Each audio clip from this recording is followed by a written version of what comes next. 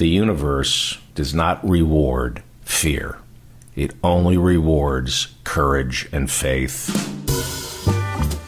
The David Feldman radio program is made possible by listeners like you. You sad, pathetic humps.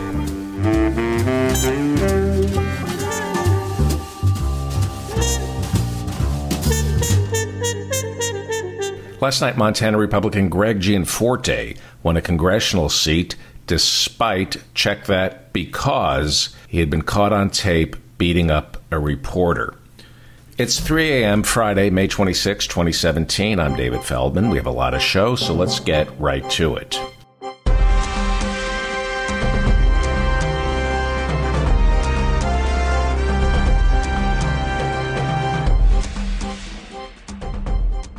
Welcome to the broadcast. I'm David Feldman, davidfeldmanshow.com. Please friend me on Facebook, follow me on Twitter. Please do all your Amazon shopping via the David Feldman Show website. Go to davidfeldmanshow.com. You'll see Amazon banners. Click on those and then shop away. We get a small percentage of everything you purchase. On today's show, comedy legend Jake Johannsen. Jake's podcast is called Jake This. You can see him at Hilarities in Cleveland, June 15th through the 18th, and the Pittsburgh Improv, June 22nd through the 25th. Jake is one of my oldest friends and one of the greatest comedians who's ever done it, and one of the most original. Also on the show, everybody's favorite comedian Jackie Kashian host of Dork Forest. She's at the Comedy Attic in Bloomington, Indiana, tonight and tomorrow. Please go see Jackie Kashian. Also on the show, Jonathan Allen. He's the author of Shattered Inside Hillary Clinton's Doomed Campaign. That's the runaway New York Times best-selling account of last November's presidential election. Jonathan Allen is here, the author of Shattered. We talk about Anthony Weiner, his wife, or soon to be ex wife, Huma, how big a liability Bill was to the campaign. Do the Clintons instill loyalty? And after all is said and done, why exactly did Hillary want to be president? Jonathan Allen, author of Shattered. Also, yesterday, the Fourth U.S. Circuit Court of Appeals ruled against Donald Trump's travel ban, saying it violated the Constitution by specifically targeting Muslims. In their ruling, the court cited an amicus brief co written by constitutional scholar Corey Brettschneider, author of When the State Speaks. Today, Professor Corey Brettschneider is back he teaches constitutional law at Brown University. And today we talk about what it will take to impeach Donald Trump and why the most important thing we can do as American citizens is not be cynical and stay outraged. Stay with me.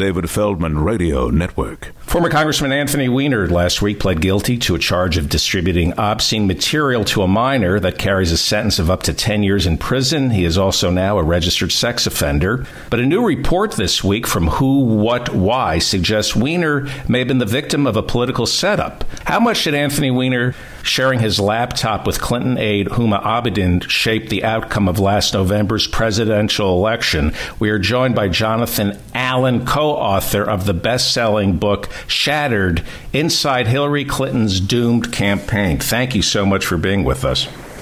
It's my pleasure to be here, I think. oh, great. Are you tired of talking about Anthony Weiner? You, I know you've covered him extensively. Uh, yeah, I've, I've covered him extensively since he was a member of the House of Representatives. He is, for reporters, somebody who was quick witted and uh, sometimes very thoughtful about policy issues and has, uh, over the last you know five or six years, created an, an endless amount of copy. Some of it is, is sad to watch there's a, a, level of sort of personal destruction there that that I have some sympathy for, you know, knowing him, but uh, but is is fascinating, obviously, to to a lot of people, and certainly people who don't like Democrats or who who who, who hate, hate Democrats, uh, you know, watch it as, as their own sort of Schadenfreude happy time. Right. I was at the Philadelphia convention working with Triumph the Insult Comic Dog, and I saw Anthony Weiner. He was wearing a purple shirt, checked pants, this fishing hat. He wanted to be noticed. I, I, thought, well, this guy's just an exhibitionist. He just wants to be noticed. I have a theory about Huma. I want to ask you about Comey and the emails. By the way, let me say it's interesting you say that because in the, I, I wrote a, a sort of denouement story for his departure from Congress after it was first revealed that he was sexting with women uh, way back when. And, and, and I think the lead of that story was Anthony Weiner's exactly where he's always wanted to be in the spotlight. And he could have made a good. I thought I thought being mayor of New York City would have been right for him. He had that kind of Ed Koch quality, except for the celibacy. But let me. Right? Yeah, you might you might you might not pronounce it Koch in, uh, in reference to Anthony Weiner mayoralty. So here's my crazy theory about Huma. I think she was Hillary's favorite, not despite Anthony Weiner being her husband, but because Anthony Weiner was her husband. I don't I don't want to get all house of cards on you, but I honestly believe the Clintons needed Anthony Weiner near the White House to distract from Bill. That, that Anthony Weiner was a useful degenerate, and that the Clintons are playing chess and they were six moves ahead and thought, we need Anthony Weiner around us so Bill goes unnoticed. I disagree with you, and, and I'll tell you why. The reason is that Huma, Huma Abedin has been with Hillary Clinton uh, for her entire adult life, for Huma Abedin's entire adult life, and was a White House intern, not the Monica Lewinsky style White House intern, uh, but was a White House intern, you know, around that time, same time period as Lewinsky, and is much closer to the Clintons than her husband is. Okay, and do you want to take that call? I'm sorry. For the ADD crowd, uh, phone calls ringing in the background. How bad was it for Huma to be sharing her laptop with Anthony Weiner? I mean, in a normal context, it's not that bad. I mean, I my family has computers. My wife uses my laptop. Sometimes I use hers. I don't have classified information that I'm aware of on my laptop. Although, after this campaign, who knows? Mm-hmm. Uh, So, you know, I mean, obviously for a normal couple, I don't think it's unusual to share laptops. I think the unusual thing here was that Hillary Clinton had a private email server that had classified information on it and uh, and was emailing back and forth on non-classified systems with classified information. Now, it's important to know that just for a sort of substantive substance check here, that you can't email classified emails from the classified system to the non-classified system. So somebody has to accidentally or potentially intentionally put classified information into a non-classified email for it to transfer back and forth. And a lot of things are classified, like the existence of a drone program, for instance, is classified. So if you mentioned a drone program in an email between the Secretary of State and her aide, technically they're moving classified information. Everybody knew we had a drone program, but some of the things were much more serious than that.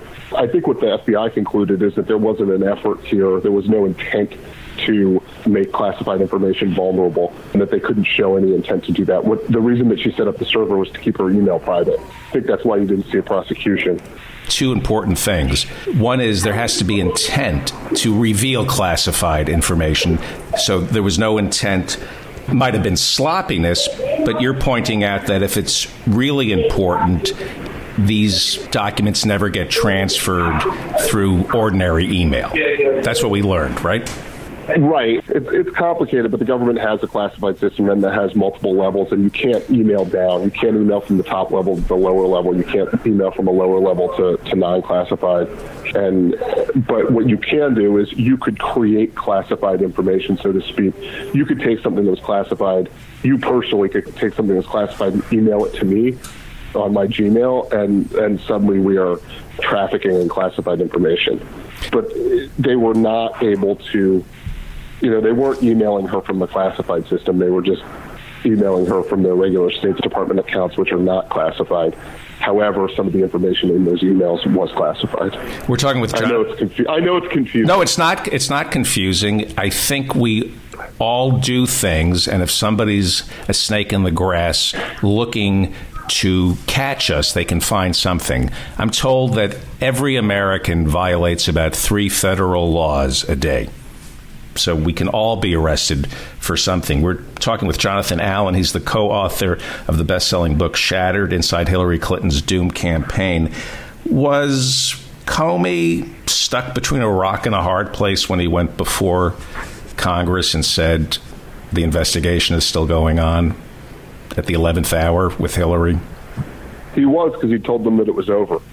And he said he would update them on any new information. And so, you know, you can see how you can see how from from moment to moment you can sort of see how his thinking goes and him trying to do the right thing in various places and, and obviously angering just about everybody. Um, I think he was in a tough spot. Now he he chose the spotlight when Loretta Lynch met with Bill Clinton on a tarmac in Arizona right before this decision was being made and then essentially recused herself, he decided to step into that breach and not only say he was not going to recommend a prosecution, but then essentially read the indictment against Hillary Clinton, which right. is highly unusual for those who believe that Jim Comey is a big factor in this election, uh, I think he's certainly a factor in the election. But you have to remember, none of this happens unless she sets up this email server. So it, it is incomplete for her to say Jim Comey was a factor at the end of the election and not point back to her own culpability. We're talking with Jonathan Allen, best-selling author, and he also moonlights as a clown at Chuck E. Cheese's. where, where, where are you? That's low down on my resume. Uh, uh, did Comey think this is uh, how I read it? I think Comey figured Hillary was going to win, and he prides himself in being nonpartisan. He stood up to Gonzales at Ashcroft's hospital bed. He wouldn't sign the the FISA warrants. He's pretty objective. Was he polishing his image by standing up to Hillary because he thought she's going to be president. I'm going to have to investigate her. I better show that I'm objective and I'm not under her thumb. I mean, his friends have, have, essentially said as much. I mean, that this is somebody who believed that if she was going to be president of the United States, it was going to have to look like he had done due diligence, and, and that he did do due, due diligence, and that the FBI did due diligence, and that it was important that the public know that. I think reporters followed the campaign in a similar way. They thought that she was going to be president, so they mm-hmm. did a pretty hard vet of her. I think they tried at times to do as hard of a vet on Donald Trump and were not as successful at doing that vet. Although I would point out David Fahrenthold of the Washington Post won uh, Pulitzer Prize for his reporting on, on Donald Trump's sort of fake charity, his foundation that didn't actually give out its own money to anybody or gave out to very few of the people that it announced that it was giving money to. So there was certainly some scrutiny of him and his business ties and obviously his the allegations of uh, sexual misconduct against him. But uh, I think because reporters felt like she was going to win, they, they did the real full vet on her. We practically knew everything about Donald Trump before the election. But the only thing that stuck was the the toupee stuck. Everything else we just accepted. We knew he was dirty. How big a liability was Bill Clinton?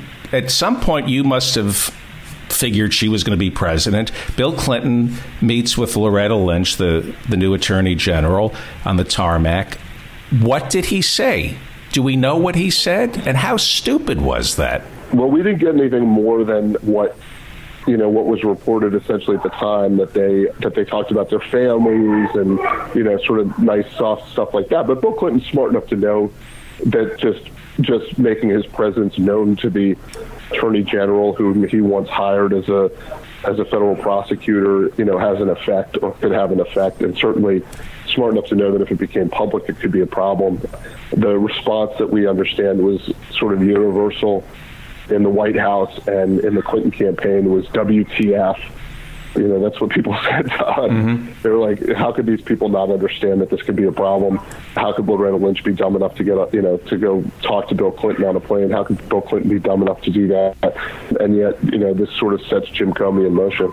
It, had she won, they'd be in, impeaching her right now. There's no question that she herself is her own liability because of the political climate? It would be difficult to impeach her without specific impeachable charges related to things that she had done in the presidency. So you sort of have to wait to find out if there's, you know, high crimes or misdemeanors.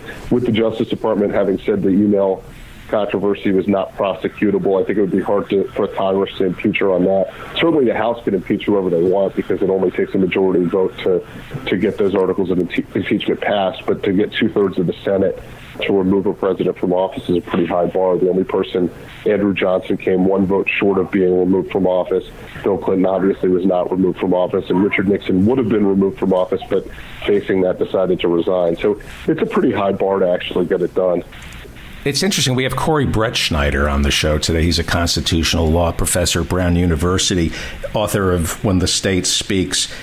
He says on today's show that the only way to impeach is pretty much through the conflation of politics and a possible violation of the law, but politics is what moves an impeachment. That's why I I walked away from that interview with Corey Brettschneider thinking that if Hillary were president, the politics are there to just destroy her, that she would be immediately crippled by a, a Republican House.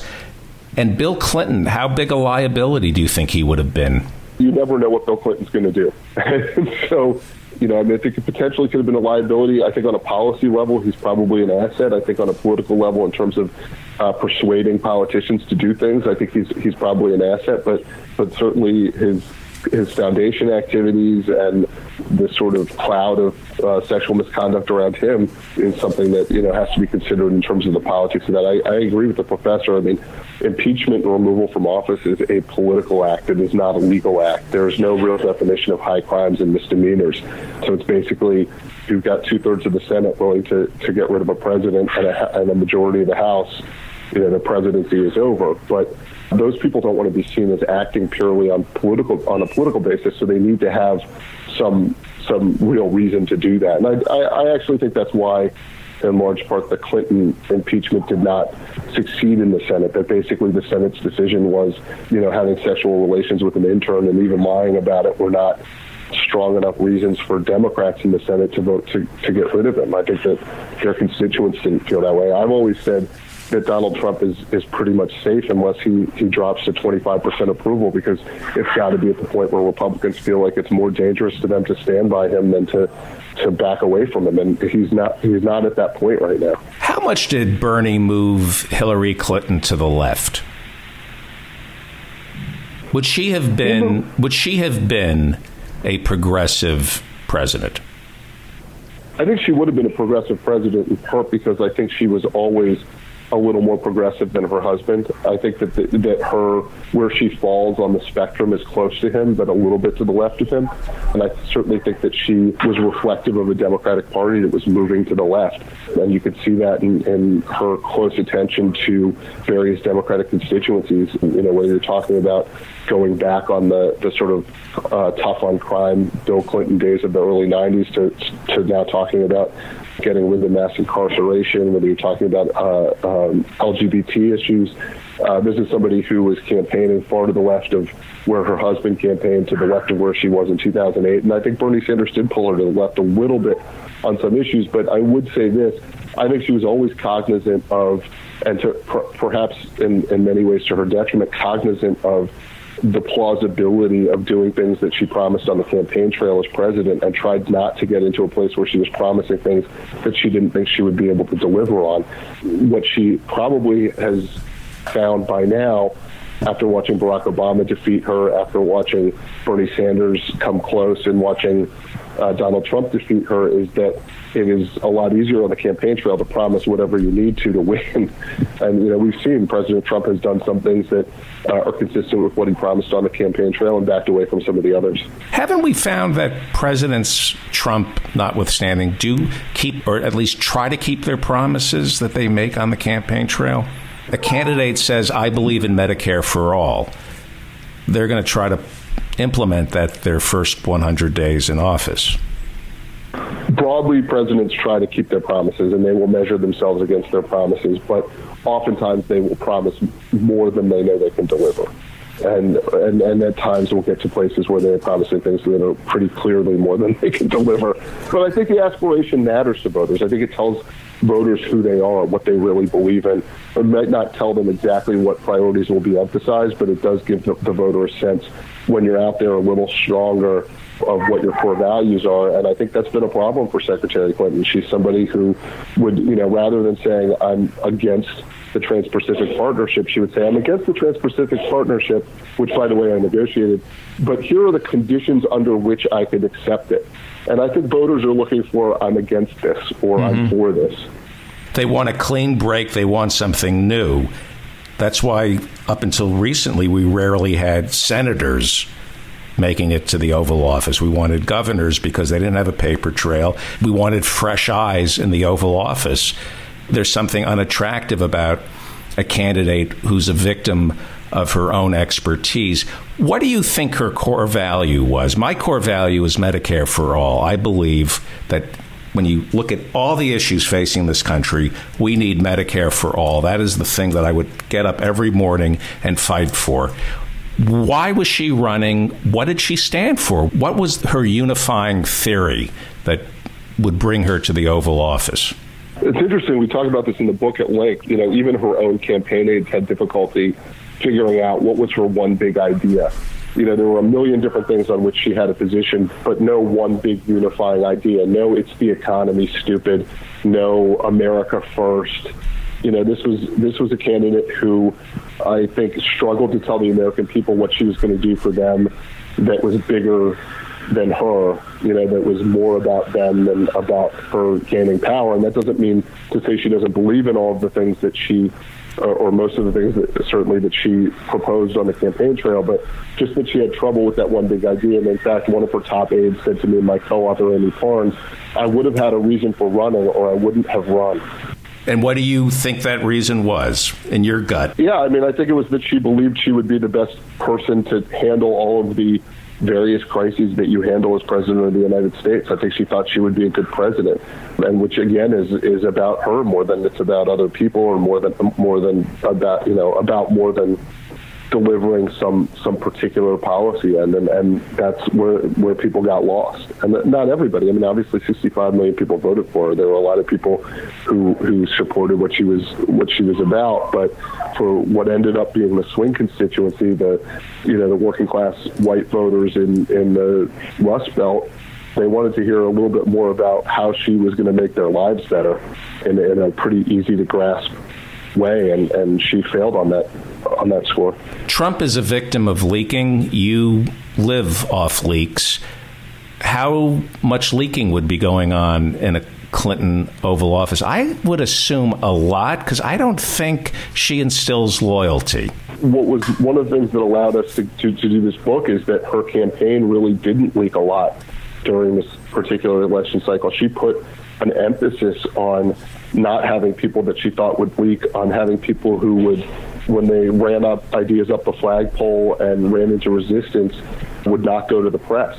And I think it's one of the reasons she probably didn't correct for some of the errors is that she wasn't reading them on the front page of the, the nation's newspapers because her campaign was insisting all the time that everything was hunky dory and going fine.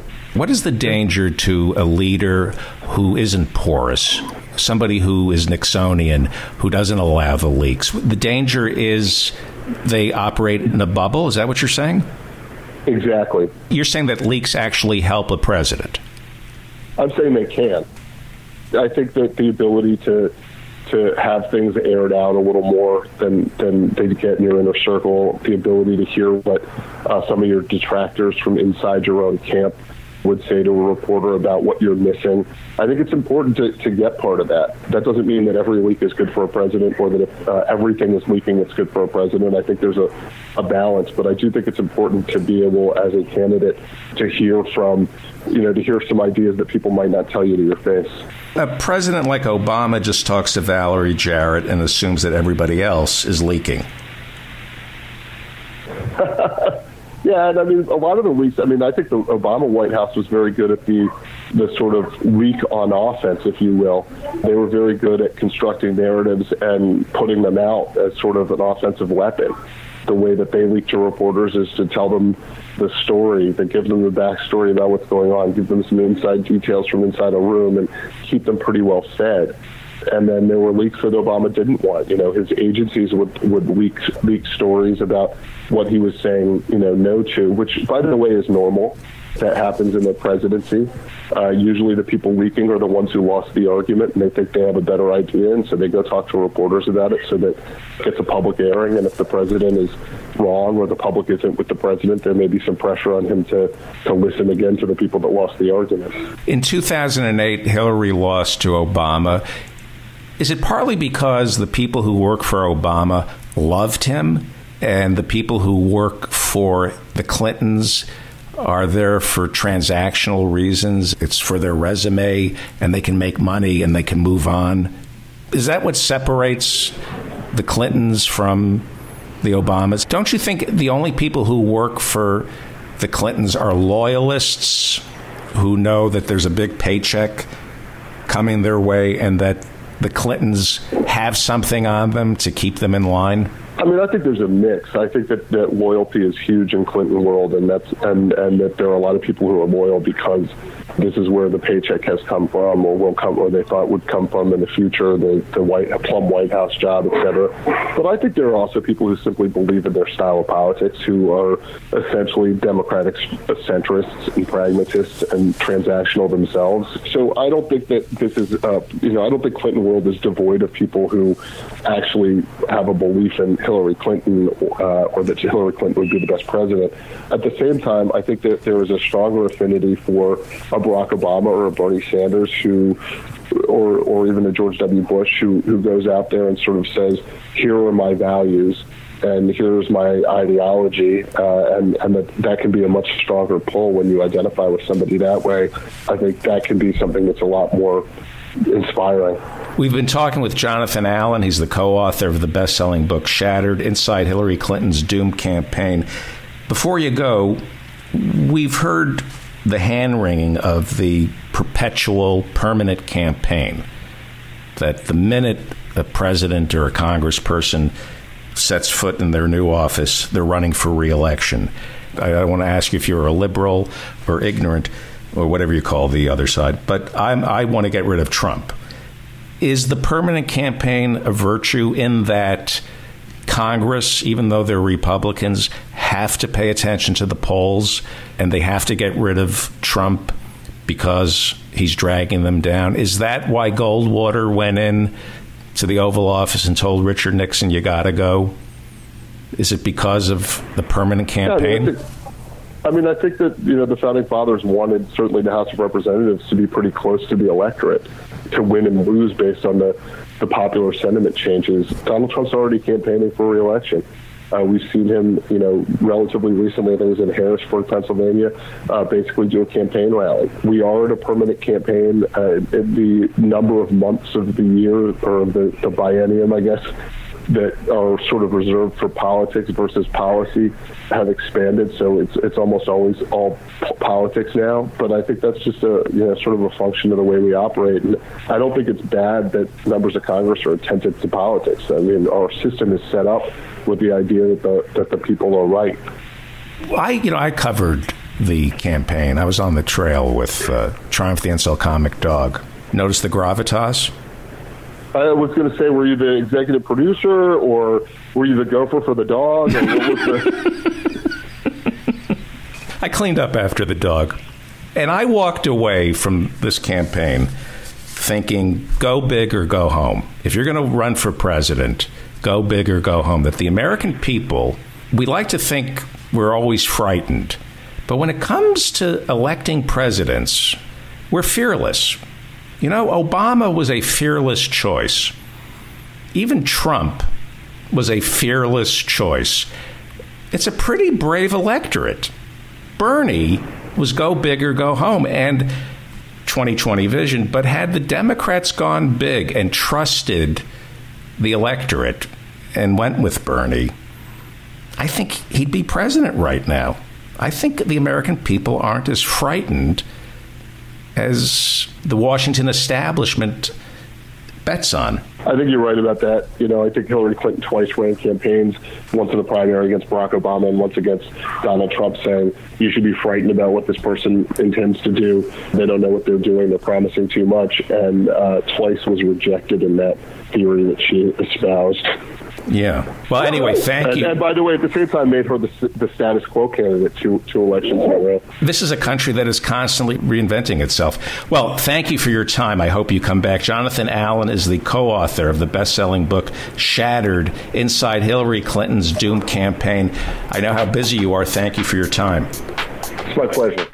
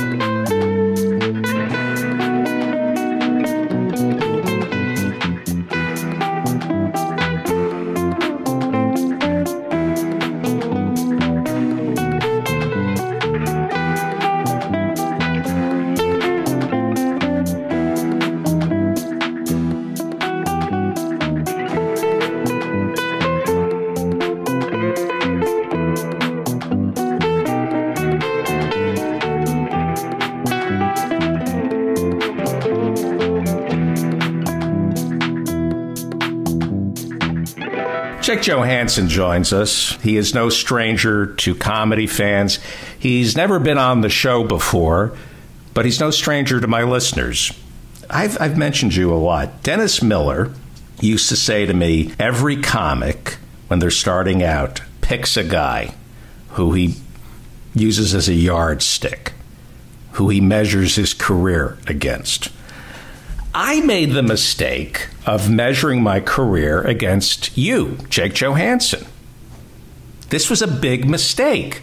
We started together, we hung out in the open mics in San Francisco, and I would measure my career against you. That was a mistake.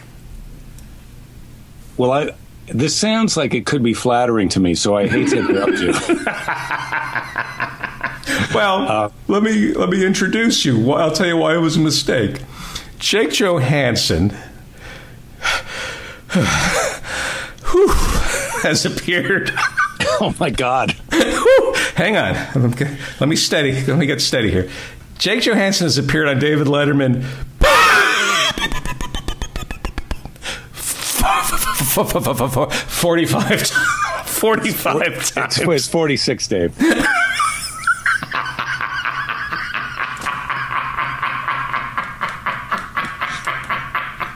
I mean, I, I, hate to interrupt you. it's all I've got. I need that other. I need that. Let me give you. Uh, this is not an introduction. This is just to tell you what an tell my audience what an idiot I am to compete with you. Countless specials on HBO and Comedy Central. His podcast is Jake This, and he will be at Hilarities in Cleveland, Ohio June 15th through the 18th. Go see Jake Johannsen, if for no other reason to punish me. This is what you say on your website. This is so brilliant. Okay. This is amazing. The difference between watching stand up comedy on television and seeing it live is like the difference between watching a porno and actually having sex with a real person.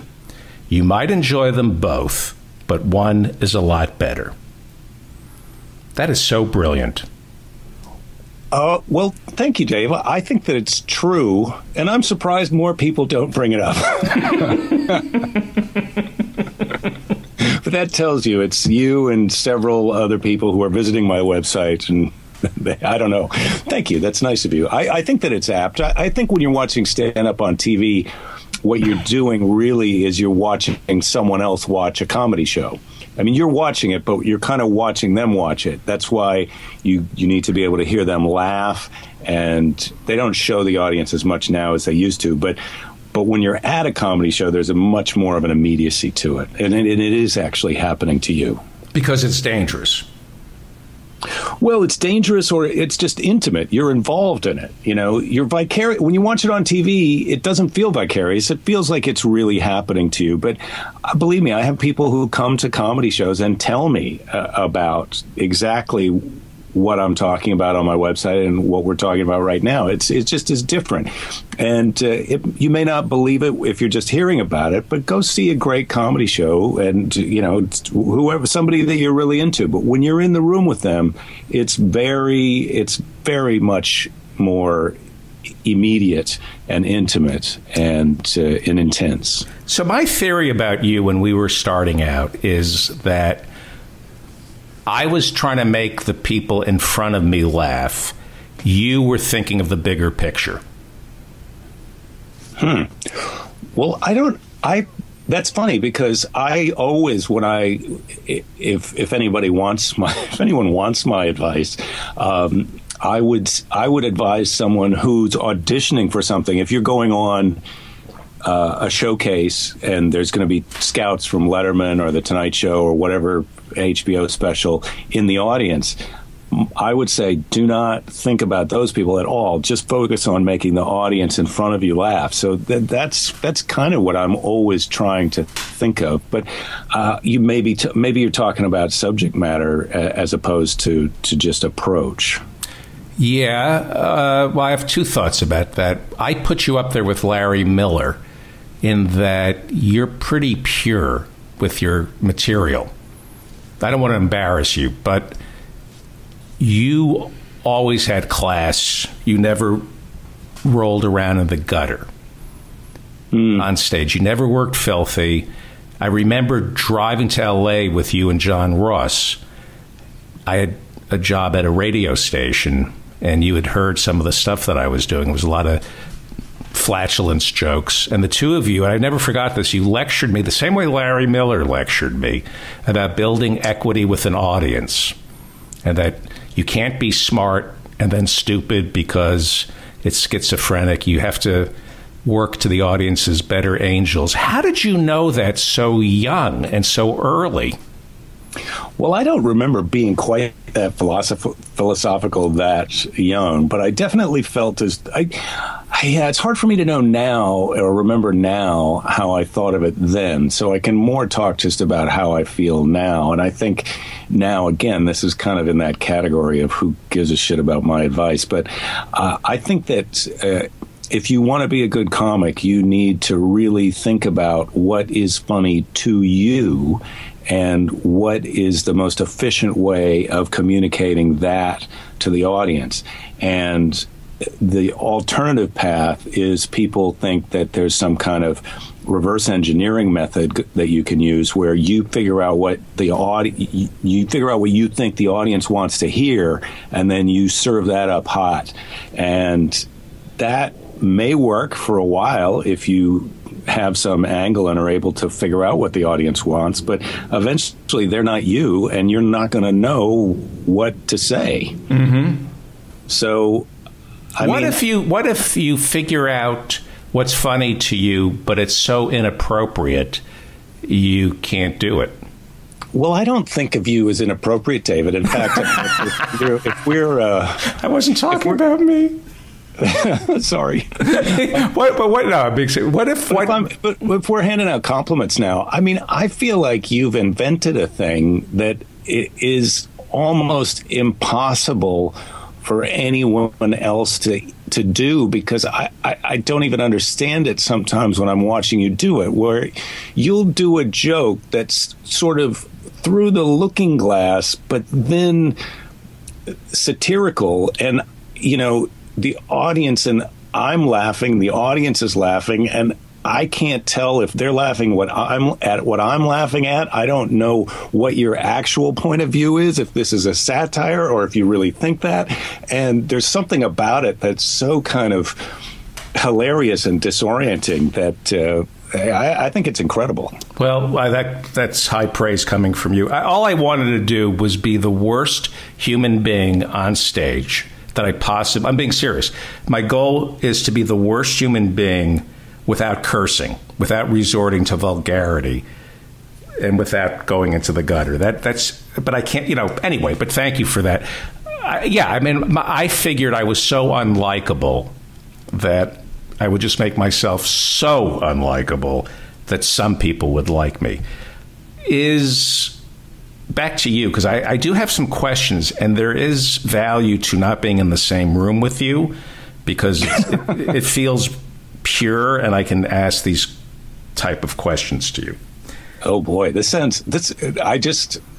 Should we just let me? Um, I just want my imagination to have a chance to run wild with uh, my my assumed am i going to be mad? Am i going to be violently aggressive? I don't know. We'll think, see. uh, no i'm just curious there's some questions i have about growing up. It seems to me that you have impeccable taste in comedy. You hung out with ellen and tom kent you you hung out with the comics who weren't crass or vulgar and this is how I rationalize this. I, I say you grew up in the Midwest and you have good, wholesome values, which you struggle with, but basically you know right from wrong, and your comedy comes from that. And you had disdain for vulgarity. Did that, that I think that's a fair statement about you.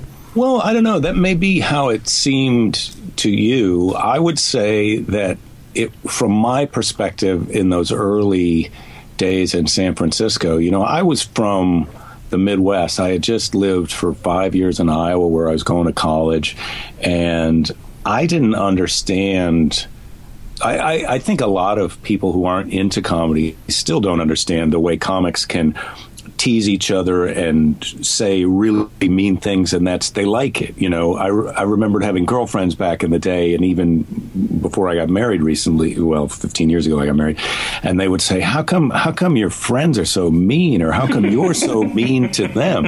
And the thing is, like, I'm not being mean to them. They like that. It's like dogs who are biting each other and rolling around on the floor, but. I know that now. At the time when I first moved to San Francisco, that kind of way of interacting with other people, it just seemed mean to me. And so the people who were good at it, you know, and I would put you in that category. I just didn't understand. I couldn't tell, like, do, do these guys like me or do they really not like me? I mean, I was very insecure about that.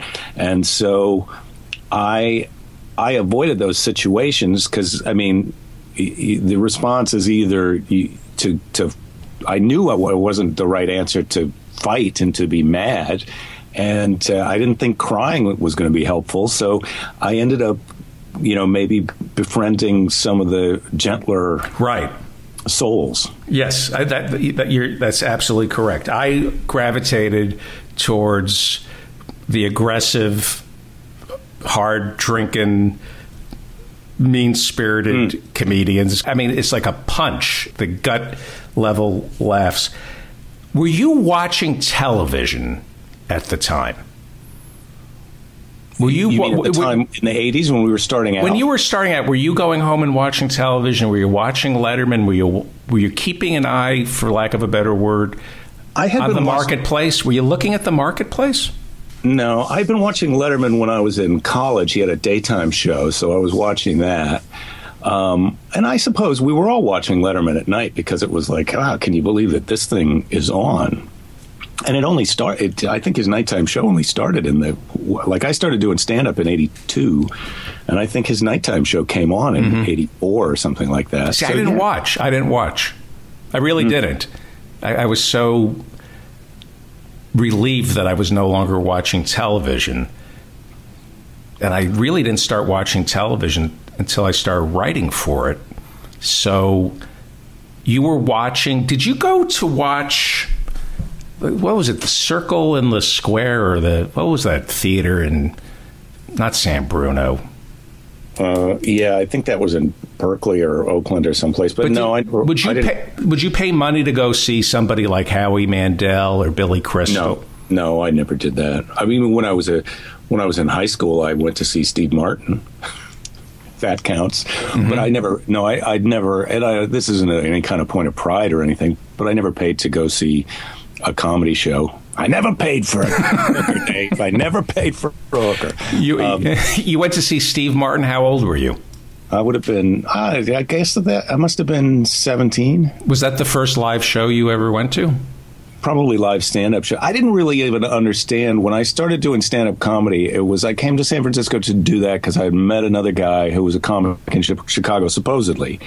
Um, and he had cut this article out of uh, Newsweek or Time because his dream was to do comedy in, in San Francisco. He wanted to go where Robin Williams started at the Holy City Zoo. And so that's what I was going to, to do that. And I don't know what I thought, but I didn't realize that you could make a living, which uh, in just working comedy clubs, you know, that, that not, you don't have to be hugely famous to not have a day job. And in fact, not only not have a day job, but to have, I've got a nice house near the beach and, uh, and it's all from from doing stand up. But I didn't know that that was an option at the time. I thought I was going to San Francisco. I was going to do whatever stand up comedy was and was going to go on stage and do something silly that would get me a TV show, and then I would become rich and famous like Robin Williams. Right. Now I remember this. I remember being more successful than you early on. This is just what I tell myself. I remember taking the lousy gigs playing Fremont and Hayward and Newark, not Jersey in California, and being told by Tom Sawyer, don't take these gigs. It's easy money. You'll regret it. You'll pick up bad habits. Stay in the city, punch it out. My recollection was, and this isn't true, but this is how I remember it, coming back from Hayward in a zoot suit, flashing wads of cash in front of your face, going, "Look what I did! I made him." But no, but uh, my recollection is early on, I went for that cash, and you didn't. Uh, I yeah, I, I think more to me, I would remember it as you became more able to succeed in, you know, I could go on at the other cafe, which was one of the nicer, quieter, more well behaved audience rooms, and have a good set. But you had developed an ability, a skill, I think, to to succeed and to engage and get laughs from an audience under many more circumstances and difficult circumstances. And so you got to do those more roadie East Bay mm-hmm. rocket room gigs before I did. I ended up doing them, but you know, and sometimes I would do all right at them. But I mean, I used to console myself after I, I would say to other people, like, the worst thing that can happen to you at the Sunshine Saloon is that they can, wa- they'll want you back. and yet, how did you know that? I guess you're born with those kind of values because I would say they want me back. Well, and, right, but and, no, no, but you're right. You uh, and you were right. And Tom Sawyer used to say this. There were two types of, uh, as I remember, San Francisco. There were three major clubs. There was the Holy City Zoo, the Other Cafe, and Cobb's. And I'm going to say I don't want to use a Hegelian. There was a the zoo was the opposite of the other, and Cobb's was was a synthesis of both. Cobb's reflected Tom Sawyer's views of comedy. And yeah. I think to this day, I think he had the best taste in comedy. But the Holy City Zoo was rough and tumble. It wasn't easy. You, you had to punch it out. You could lose the audience at any time. The other cafe was in the Haight. It was very gentle, very snobby. The, the owners were, were snobs. They liked their they liked you and Paula Poundstone and Rob Schneider and Ellen. They were very protective of their audience. They didn't want it crass and vulgar. And mm. then and then Cobb's combined those two. Tom took both types of comics, but they had to be great. You were an other cafe comic. I was a zoo comic. Is that fair? Well, yeah, that sounds that sounds yeah. I, I feel like that's a close shorthand. Tom Tom became a supporter of mine uh, before I I won the comedy competition in 1986, and so in '85, I think, or maybe even as early as '84, he had said, "Look, one of the things I'm going to try and do is have a somebody who I'm really nurturing to move forward." And so that's going to be you right now, and I'm going to give you one week of hosting the show per month. So you'll have a week's worth here at Cobb's every month. And so he was.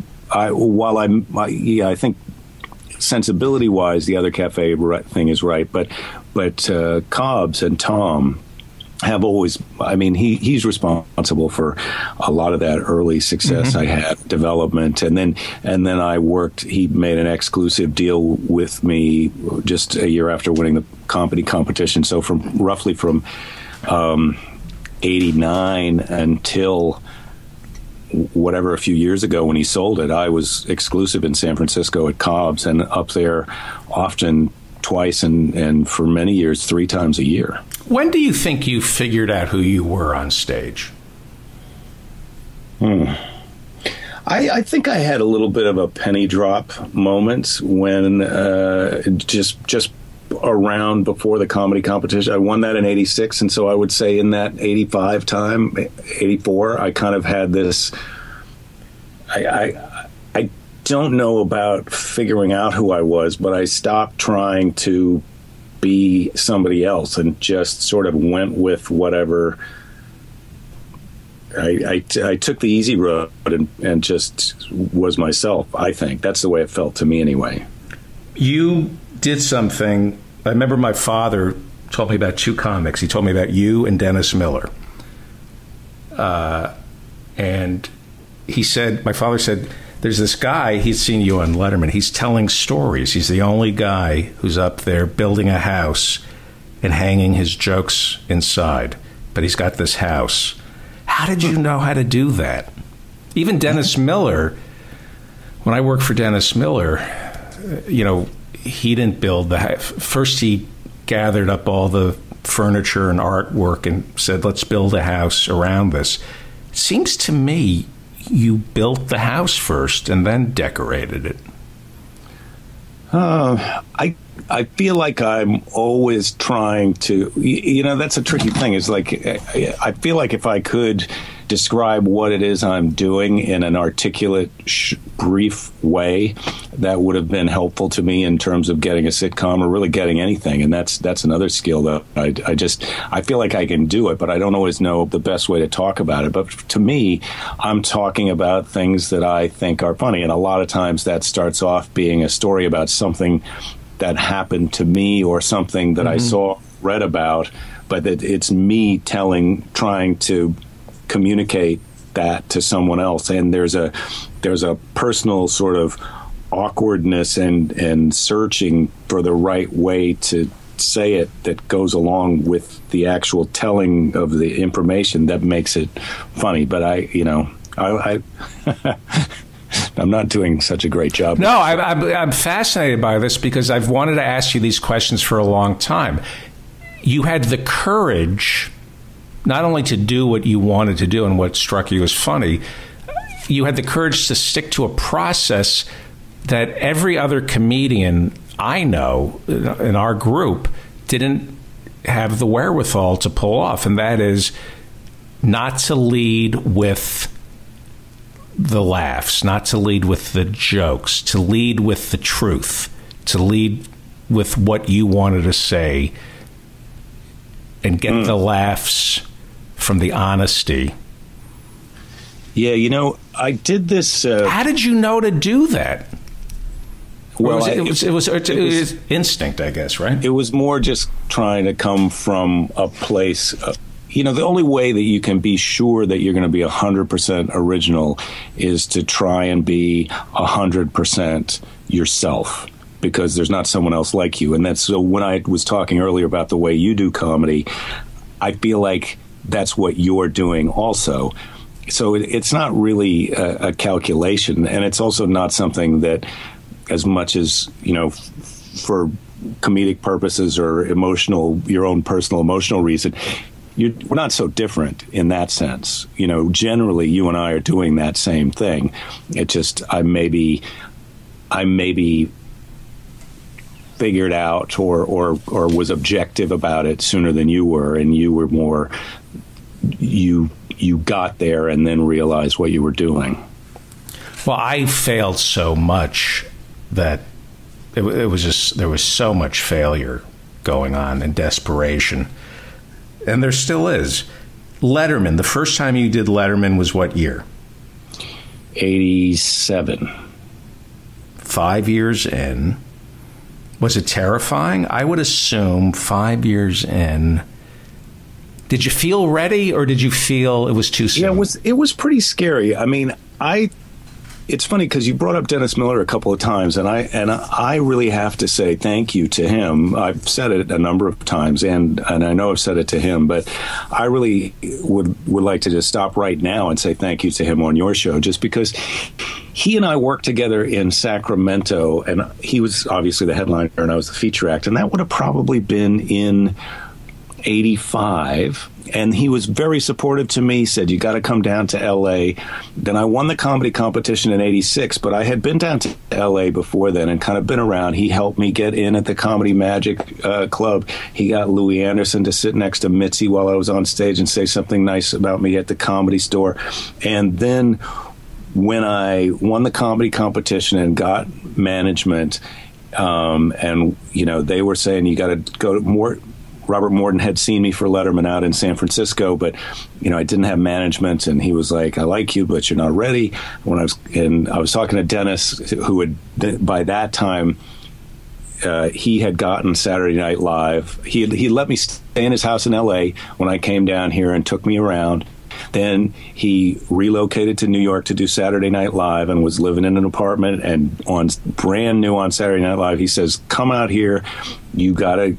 Morty's got to see you out here. You can." I slept on his floor in New York City while he was in the in that you know boiler room of mm-hmm. SNL at the beginning. He took time to support me there, let me stay in his place, was encouraging of me. I mean, he was so helpful. And then later, when he had his own talk show, he had me on, on a couple of times.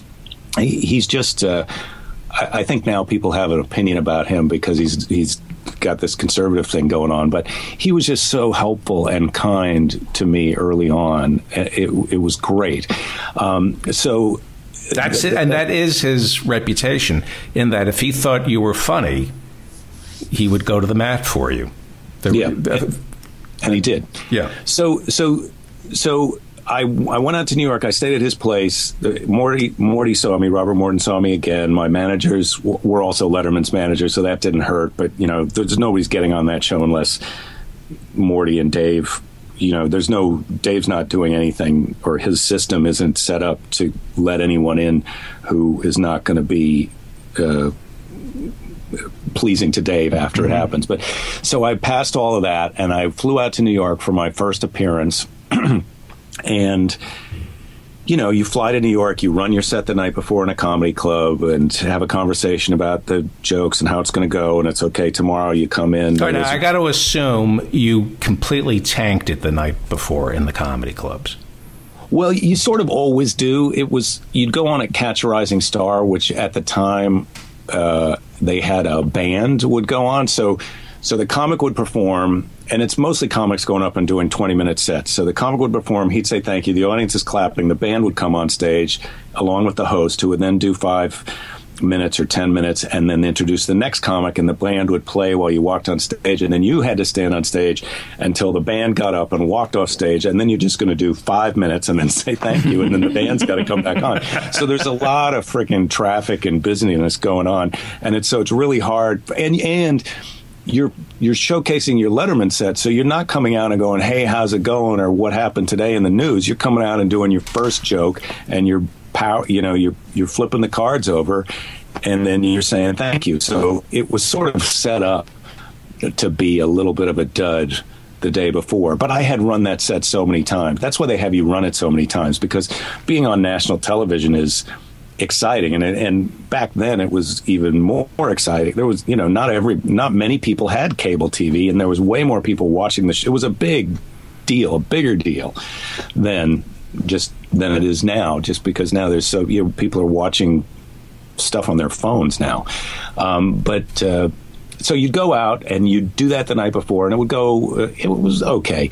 And then you go in and it's my first time and i'm cranked up and I'm excited and I can't believe I'm on this show hosted by this guy who, you know, he's older than us, but he was he was just older than us. So he's he's he's really the hero that you can relate to because he's just, you know, he's just ahead of you in the game. So I was very excited, and I'm backstage, and the guest before me is on, and they come back and they say, okay, when he or she is finished, then it's going to be you. So get ready.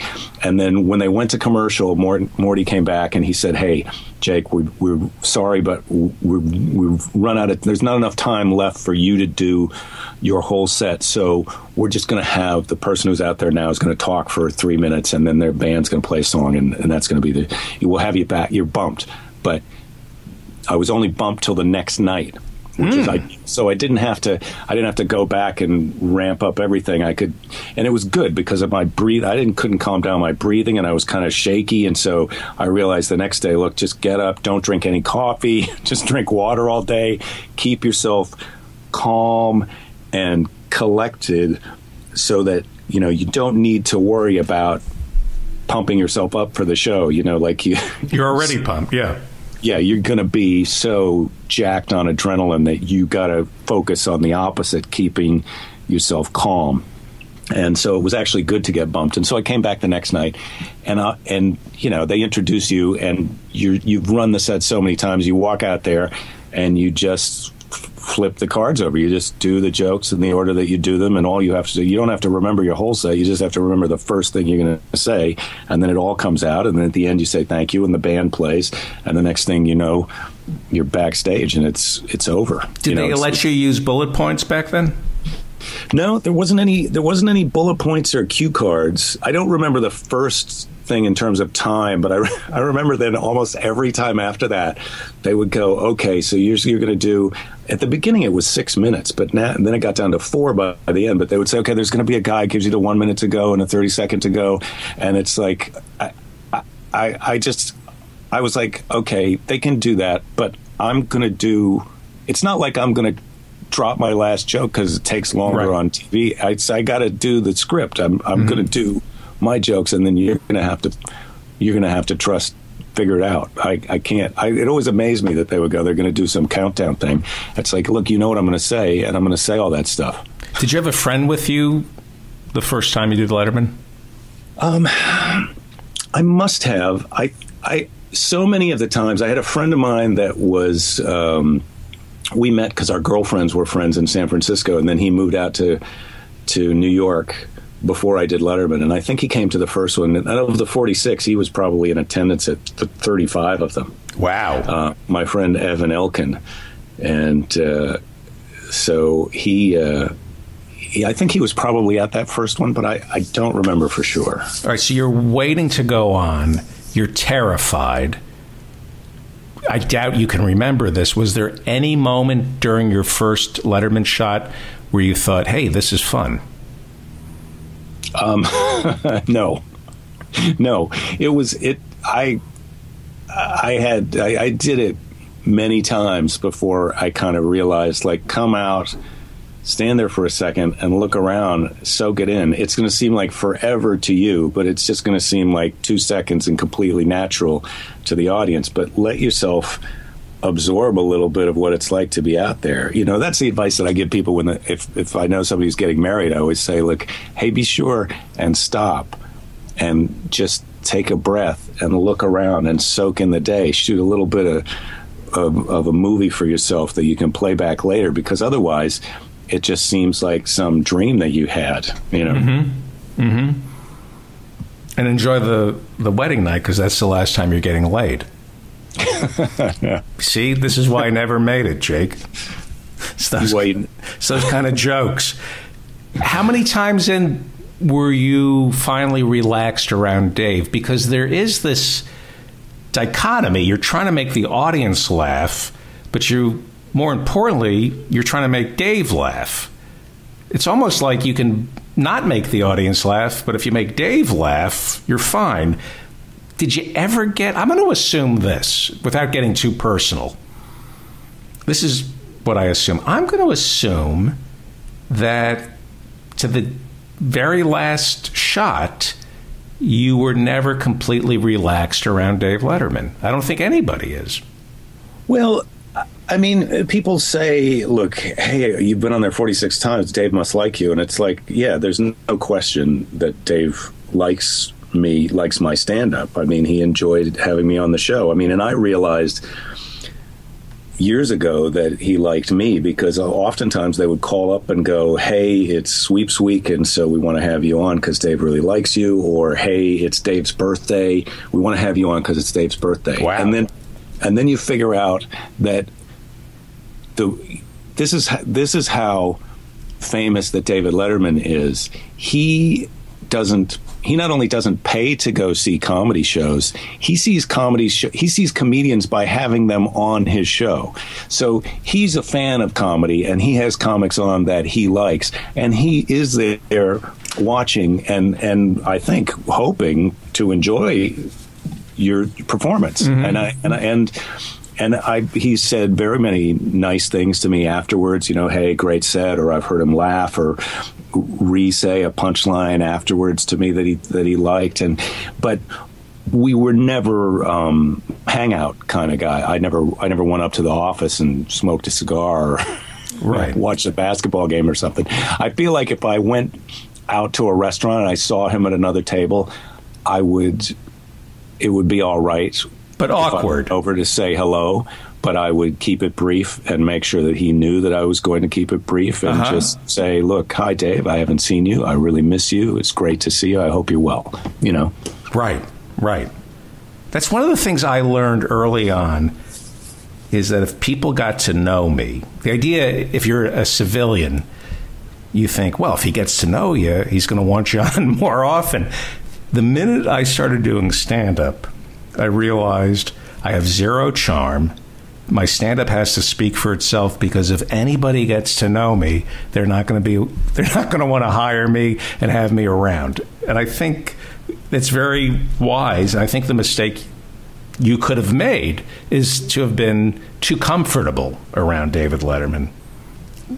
Right? Well, I think I think the people who he was friends with, who were comics that he was having on the show, he was already friends with them ahead of time, mm-hmm. and, and and they, you know, John Witherspoon and George Miller, those guys Dave was friends with before he they were going on the show, but he wasn't having them on the show, and unless he thought they were funny. I mean, so I I think yeah, you if if he wanted to make friends or have me over or something, uh, that would be fine. But I don't think that's what gets you back on the show. Right. I think.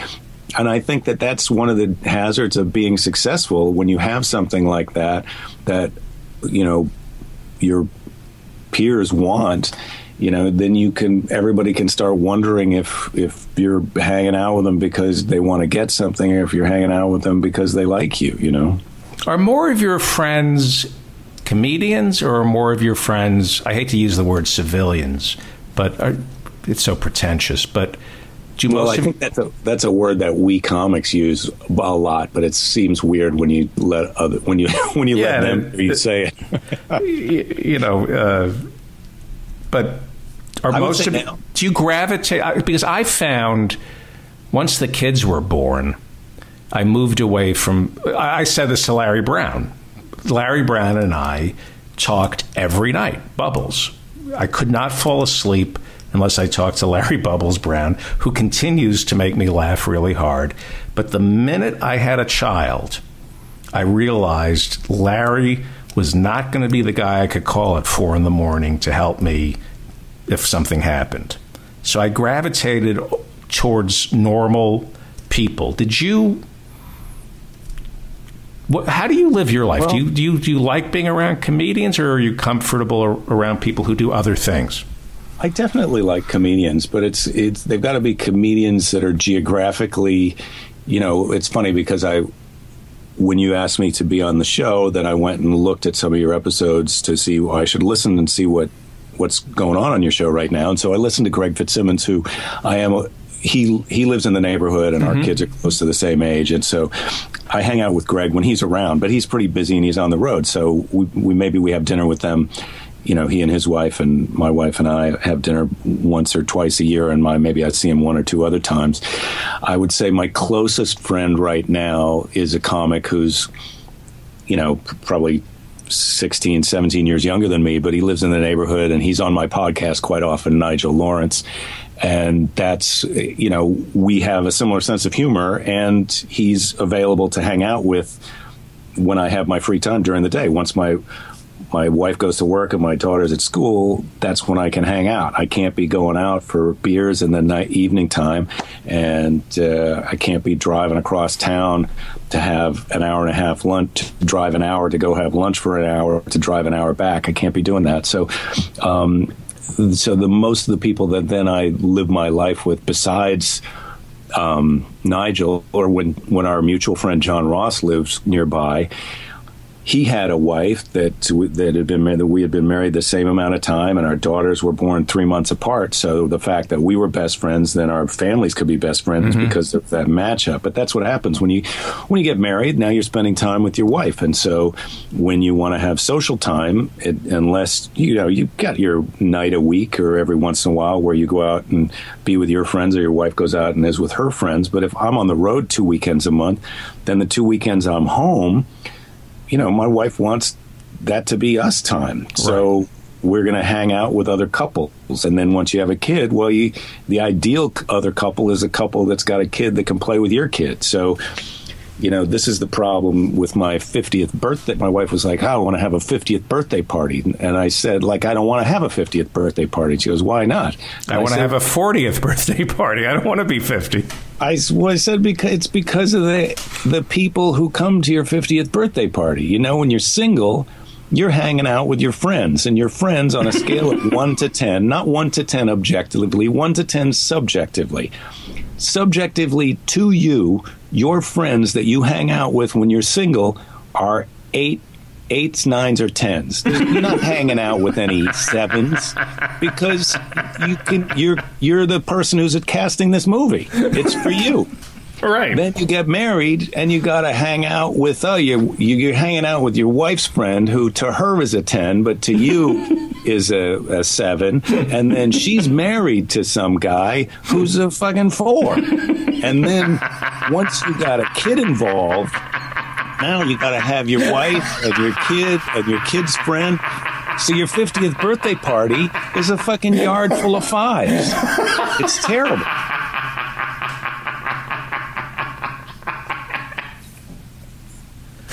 So, Uh, yeah. Yeah. do you see what I'm saying? You are normal, though. In that you, you're, and I, and so is John Ross, because we were, you know, we, st- we were best friends and hung out. But you guys did normal things. You went to baseball games. You hung out. You went to parties. You played. Dave, ba- you're a normal guy. You got married before either of John and I. How and, normal is that? And you had a kid. You had two kids. Yeah, but you know, I what I did was I kind of I just retreated. I, I just became more of a hermit. The, you know, I was already a hermit, and then once you have kids and a wife and responsibilities, it gives you more reasons not to hang out. Well, right. You don't have as much free time. I mean, that's that's the other that's the other truth about a relationship is you know you got you you you're not in charge of 100% of your time. You're doing things with the other person which hopefully you all also enjoy but sometimes you're compromising you're going to the thing that they want to do. But whatever you're doing you, you don't have that time to go hang out with your buddies anymore. So you do That's, uh, compromise. You do if somebody says, "I want to go see this movie," even though it's a waste of your time, you'll go see it because the person who gave you a child wants to go see that movie. Yeah, though- except we don't go. I I just I'm I'm sort of off going to movies now. Like I, we went to the first Guardians of the Galaxy, and I'd like to go see the second one because that was the first movie where my wife, my daughter, and I all had a great experience at the theater. But I find oftentimes the movies are, you know, you're going because that's the night that you've got a babysitter and you can go, and then you're picking the best thing that you can of the options that are available. And then it's like oh god what's the point? It's like you just you just blew by the time you paid for the movie and the dinner and the babysitter. You blew a hundred bucks to go see something that oh, i could have waited for this to come out on nothing ever and stayed at home. I think of you early on, uh, and and I, I apologize for going back down to the 80s, but I just have some preconceived notions about you. That one, uh, one of those notions is that you instantly said, This is my life, this is my structure, this is how I'm going to live. Whereas somebody like me or John Ross, is constantly saying, Is this my life? Is this who I am? Is this my life? I think early on, you set up a schedule, a vision of what your life is, who you are, and you compromise, but you've kind of stuck to it over a long stretch of time. Yeah, I've been blessed and cursed by being able to get work in comedy clubs for all these many years, and then, you know, corporate things. And every once in a while, I get a pilot for a TV show or a little part in a movie and stuff. But most of the time, I've just been working on stage doing my show, and I kind of focusing every August and September on filling the calendar up for the next year. And I've been able to do that for all this time. And so I hadn't really thought about it. A little bit of it was always kind of a nail biter at that time of year. And I think. What does if- that even mean, August? I don't even know what that means. August and well, September. For the, for the longest for the longest time, comedy clubs would would be filling. They would book their next year's calendar in August and September. In other words, by December of 2017, January through December of 2018, they would have mostly already on the books. For the hmm. longest time, that was the case, and so that's how I that's how I was just geared was filling up my calendar as much as possible, and then the spaces that were still open, calling my manager or agent and saying, "Look, I've still got these availabilities that I'd like to fill in my calendar," and hustling, and then going to do the gigs, and then now social media and podcasts and all that other stuff. You you've got so much more responsibility of promoting your own shows that. Uh, yeah, I kind of settled into that rhythm. I don't know that I. Uh, it was a it was as conscious conscious of a embracing of it as as you're kind of portraying it. But well, I, I that like has to be. I can't. I didn't even know this about being being that successful as a stand up, where you actually see the year ahead of you. That that's a great way to live if you can pull that off. Well, it was great, and and I would say only now am I now having to try and figure out how to do like I've got I've got the Cleveland date that you mentioned. The week after that, I'm going to do Pittsburgh, and then then I've got this kind of fun theater show that I'm doing in um, Great Barrington, Massachusetts. But then I'm combining that with with a, a, show in Manchester by the Sea and another one at my friend's got this barn at his bed and breakfast in New Hampshire. So I'm going to do a show up there, and so I'm trying to do these other shows to to still be able to engage with the crowd and write material and you know keep it real. But uh, but now it's a, now it's a little bit more of um, putting it together on the fly that way than it used to be. And there's an excitement to that. I feel like we're I feel like we're kind of coming to a point where there's so many great comics and there's so many great comedy clubs that um, but there's I still feel like there there's there's new ways to go out and do shows to call there's a lot of comics now that are just doing shows in music clubs you know they're doing they're doing a tour where they're just in St. Louis for one night doing a show and then the next night they're going to be somewhere else you know Stanhope that's how he's doing his tours now Stanhope at one point would come to your house if you could guarantee an audience.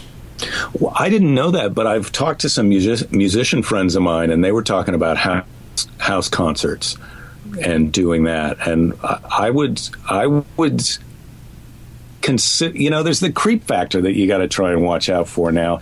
And I heard you talking to Greg Fitzsimmons about the whole, like, we're from this time before where you wouldn't put anything out there unless it was your polished best version of yourself and mm-hmm. now now you you put a camera in the back of a comedy club and you tape yourself doing a bit. You throw that up on YouTube, and the next thing you know, you're you're, you're famous. Angela Johnson, she's famous from that nail salon bit that she just somebody she didn't even record it. I talked to her. Somebody else recorded it and put it up, and it just blew her up. So it's hard to know what to do to promote your show or where the best shows are, and you know, it's funny. It's funny to me to still have people I'll go and do something on Facebook, uh, Facebook Live, and people are nice. They're like, "Oh, that's great. When are you coming to Philadelphia? Well, can't you got to Jake? You got to come back to." to Indianapolis or something, and it's like, hey, why haven't I been to those places? It's I, am not a whore, but it's if as soon as the money you, you mm-hmm. make a phone call and you tell me you got a place and you can pay me, you know, or you can sell the tickets if it's a house party. I suppose I might be open to that. Who were you measuring yourself against when you were starting out, or did you not measure yourself against somebody else? Mm. Was it John Ross? I don't know about that. I feel like I had a really when I won the comedy competition, and then also you've already mentioned that three times, Jake. Yeah, can... I got on age. you did say that you wanted to talk about that, so I just want to make sure that I.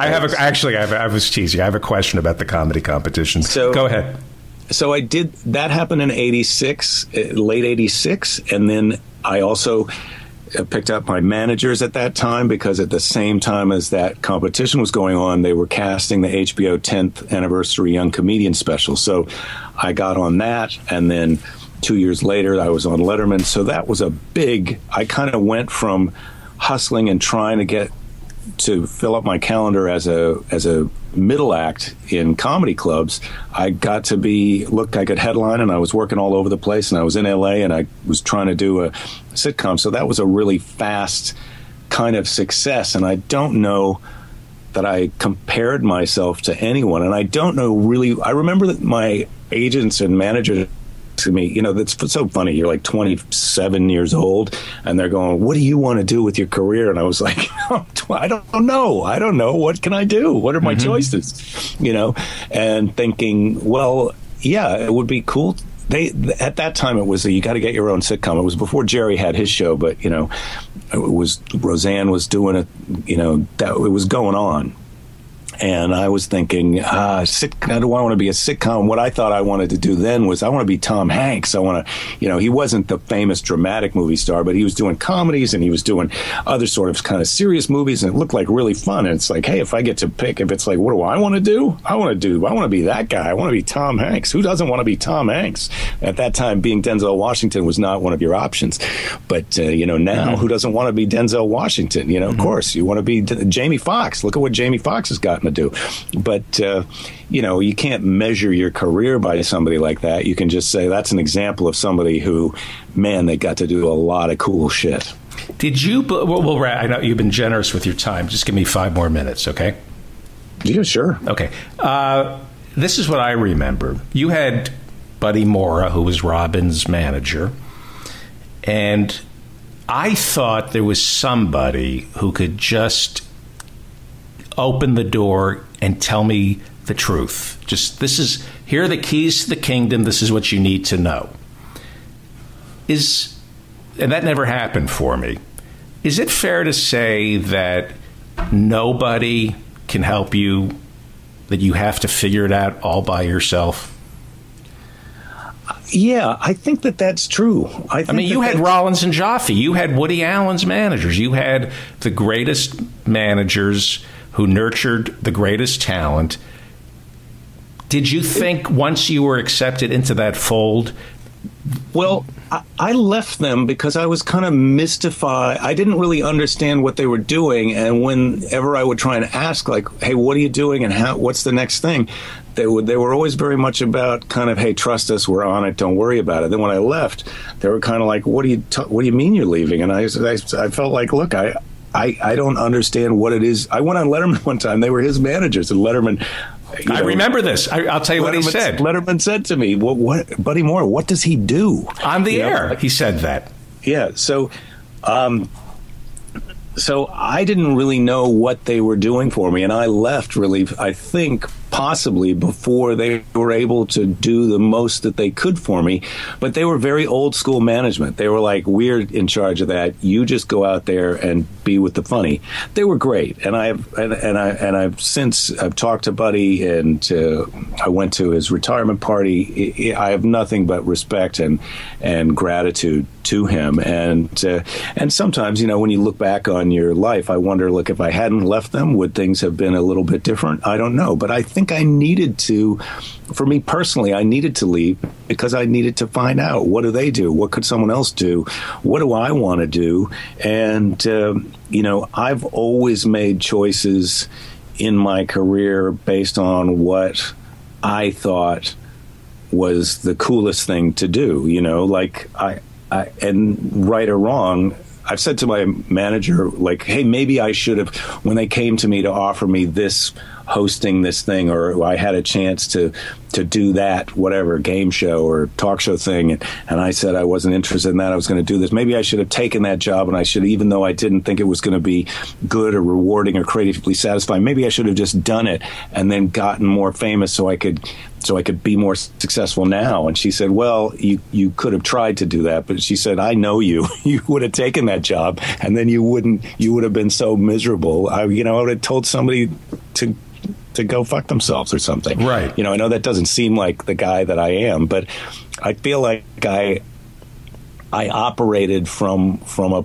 position of feeling like, look, I wanted to do what I wanted to do, and whether it was right or wrong, that's what I did, and I have the had the career that I have had, and it's been it's been great. I mean, it's it's very flattering, David, to hear you hear you say that that uh, you know you made a mistake comparing yourself to me.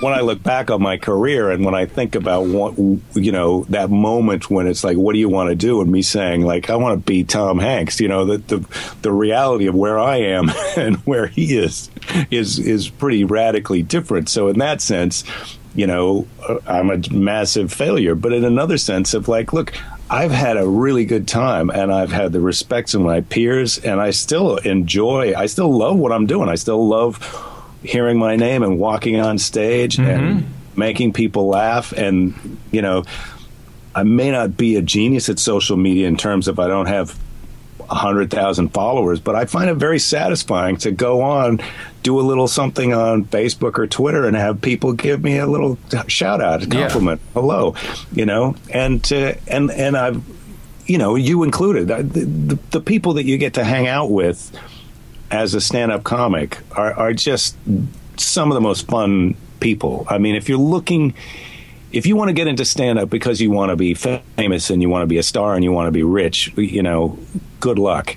But if you want to get into stand up because you want to have some great conversations and laugh and uh, always have a phone full of numbers of people that you can call and, and enjoy a conversation, then stand up is for you. Right. I mean, last night at one in the morning, I was talking to Greg Fitzsimmons. I got into a little trouble, and we were. I mean, I was. You know, I, I don't want to talk about it, but I was in a little trouble for something I did, and he kept saying, "You got a great story out of this. This is so funny. This is so funny." You yeah. were in a little trouble, Dave. Huh? You were in a little trouble. Little trouble. Little, yeah, but it's a funny okay. story that I can't share. Before you go, oh. the thing oh, was that, it the thing that we were talking about yeah, before yeah, the show? Yeah, yeah, yeah. Uh, he gets me into trouble. Yeah. Okay. Well, I don't know. I have no idea what you're talking about. Yeah, okay. I know. I know you're good at heart, but uh, you know, you're you're you. You're yourself. I if the joke is sitting there and it's bad taste, I have to go for it. I just can't help myself. So you said you only wanted to do things that were cool, and when you meant was fun, things that interest you. Yeah, I feel like I, you know, I, I wouldn't say that I've 100% been true to that, but I've, I've made, uh, I've made choices that to me were about what I was most interested in doing, and were not uh, always, or, or, or that's been the criteria for making the choice, and I've, and I've. I think it's cost me money, and it may have cost me a little bit of fame to have done that. But uh, but it's but I'm not miserable and I'm mm-hmm. not broke. Right. And you never found yourself in a situation where you were doing it solely for the paycheck. Oh, there are those. There are those moments. There's always, no matter how you do your life, those gigs where, where you know, I was, I the the thing when I when if you're doing a show and it's going uh, not so great, you just pat yourself with your right hand over your heart because that's where the check is. but you never found yourself trapped in a job. No, it wasn't relentless. It was right. always like, oh, I didn't see this coming, but ha ha ha, it's it, this happened again. You know, I I, I did a show in Peoria. There's a funny club in Peoria called the Jukebox that's owned by a real character, this guy Dan, and uh, it's such a throwback. And you know, I don't know if you know that our friend John Means, Dr. Gonzo, mm-hmm. lives near there. So I hadn't seen him for years, and he came up and he has his own restaurant in his town. So he came up to the late show on a Saturday night and I haven't seen. this is only maybe five, six years ago, and uh, but I haven't seen him in 15, 20 years. And he shows up. So good to see him. We're laughing. And he stays for the show. And it's literally 30 people, and 20 of them are two separate bachelorette parties that, that, are sort of in a competition with each other to see who can be the most drunk and disruptive. and it was funny to me to be in that situation at this point in my career. In front of this, John Means. It, it was just such a throwback to those early days. So yeah so from the outside of of you know, if my wife or any friends were at the show, they would think, "Oh my God, this is terrible," and Jake must feel desperate and suicidal after this night.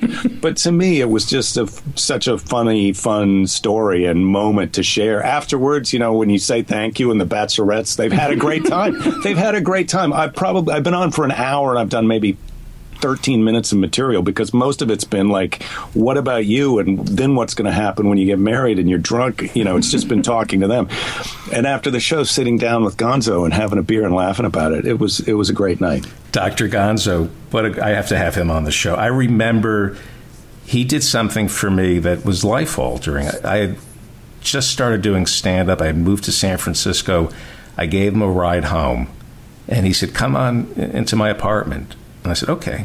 And he, you know, he was Dr. Gonzo. People lined up around the block to see John. It was mm-hmm. he was the biggest thing in San Francisco, and I'm in Dr. Gonzo's apartment, and he took me into his office, and he just walked me through the steps of getting booked. He said, This is a map. This is my phone book. You got to get a phone book. You got to get names and addresses. This is, you got to get an 8 by 10 You got to mail them out to club owner. I mean, he walked me through the entire process of getting yourself booked as a comedian. It, it, and I never forgot that. I thought, what a generous. I remember calling my parents and telling them about this Dr. Gonzo show. By yeah. the way, before you go, uh, by the way, about age and time. You're uh-huh. a, you're a peer of mine. We started exactly, so I, I don't uh, think of you as a senior, an elder statesman, right? Oh yeah. Well, that is, the, yeah. Go ahead. But if Larry and Milt Abel and John Ross, like John Ross started maybe a year before we did. Do you yeah. still view John as an elder statesman? I do. Even though it, he had a year under his belt, I still see him as an upperclassman. Larry, I did these shows with Larry Miller, who I think is just one of the greats. But he, he had an accident where he hurt himself, yeah. fell over and hit the back of his head, and he wasn't able to perform his show up to his standards, but he was still going out on tour and he needed someone else to go on and you know carry some of the time. So I did these shows with with Larry that were just so much fun and it's such a pleasure to hang out with him backstage. Mm-hmm. And if you're listening to this and you have a chance to go see Larry Miller, I don't know how often he performs now, but please please do yourself a favor and go. But I feel like Larry was one of those guys that I worked with in the early 80s when I was the opener and he was the held the headliner elder statesman at that time. But now when I'm hanging out with Larry, I think to he and I, it seems like we're contemporaries, and I feel like I was I was doing a show in um, God Hart Hartford, I think it was Hartford, Connecticut, and it was one of the funny bone improv things. And the the feature act was this really funny guy, and you could really tell he was going places. His name, and he's been now he's been on Letterman a bunch of times. Tommy Johnagin, right? Mm-hmm. So I'm hanging out with Tommy, we're laughing, and you know the shows are going great. Uh, mutual respect. I really like Tommy, and I'm I, he's a contemporary. That's what it feels like to me, and that's what I think it felt like to him. It's like, hey, we're two funny guys hanging out. We share kind of a, a similar kind of appreciation for a certain kind of comedy, and so he's telling me all these stories about his crazy mom and all the crazy things that she does and uh, and then I, it's just some one point, and, and we've been hanging out for a couple days. I go, Tommy, go, how old is your mom? she, she's a year younger than I am. Oh, so I still feel like uh, all these if you're walking on stage and talking into a microphone after somebody introduces you at a comedy club, I consider you a contemporary, mm-hmm. and, and that's sort of how I look at all of this stuff now. So, so John's a contemporary, but Tommy Johnagins a contemporary, and you know the next person I meet's a contemporary. You know, I don't know if you know. Do you know who Ms. Pat is? No. Well, she's going places. You should. She's been on my podcast a couple of times, but now she's she's got a book coming out and um, she, has been on Harry Connick's talk show now, but she's great. And so she's one of my new people who's just, I've met her kind of at the, just at the cusp of her exploding on the scene. And, uh, that, that, I feel like is one of the things about this job to me that I've I've enjoyed spending all this time in comedy clubs and, and working on stage. That's how I've earned, you know, a guy like Greg Fitzsimmons, he's earned a lot of his money writing for shows and then also performing, but back and forth and doing the thing. But I've been mostly on stage and out there in the clubs and in the world. And it's been such a pleasure to to to be able to call these people contemporaries and to see them before they had the success and then after mm-hmm. they had the success. You know, to work with Mitch Hedberg when he was my feature act and then go out and see him become this amazing amazing hero of a lot of comedians. You know, has been great. But but I consider I consider people more contemporaries than than that kind of elder statesman Right. or new kid on the block kind of a thing. Jake, this you started. I, I, I was going through your files.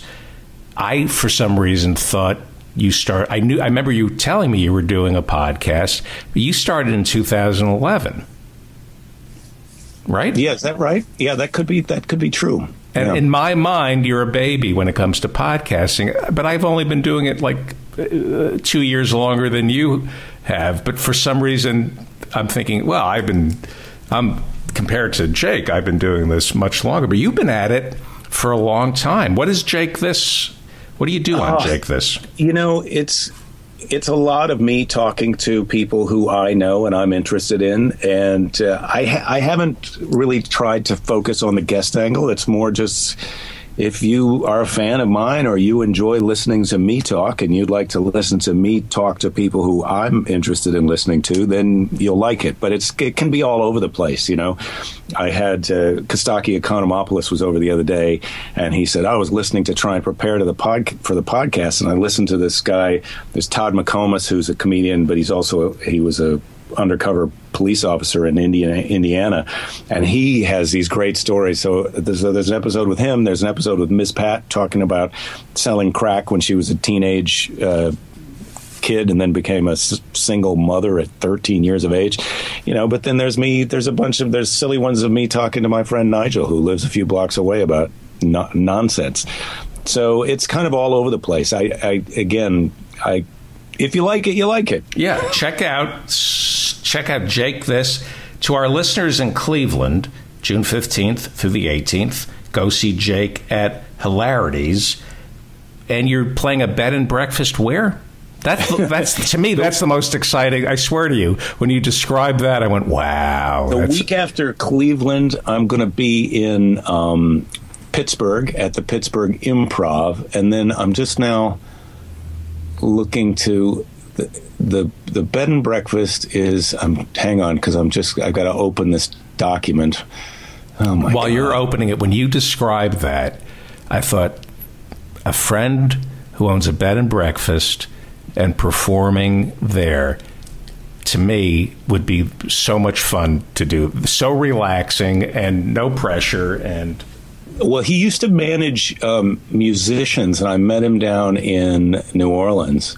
And it's called uh, The Barn at the Farm Stand, and it's in Tamworth, New Hampshire. Wow. And if go to my website, checkthis.com, I think there's a, a link to the Eventbrite site. You know, I'm going to hang out with him, and we're going to do this show.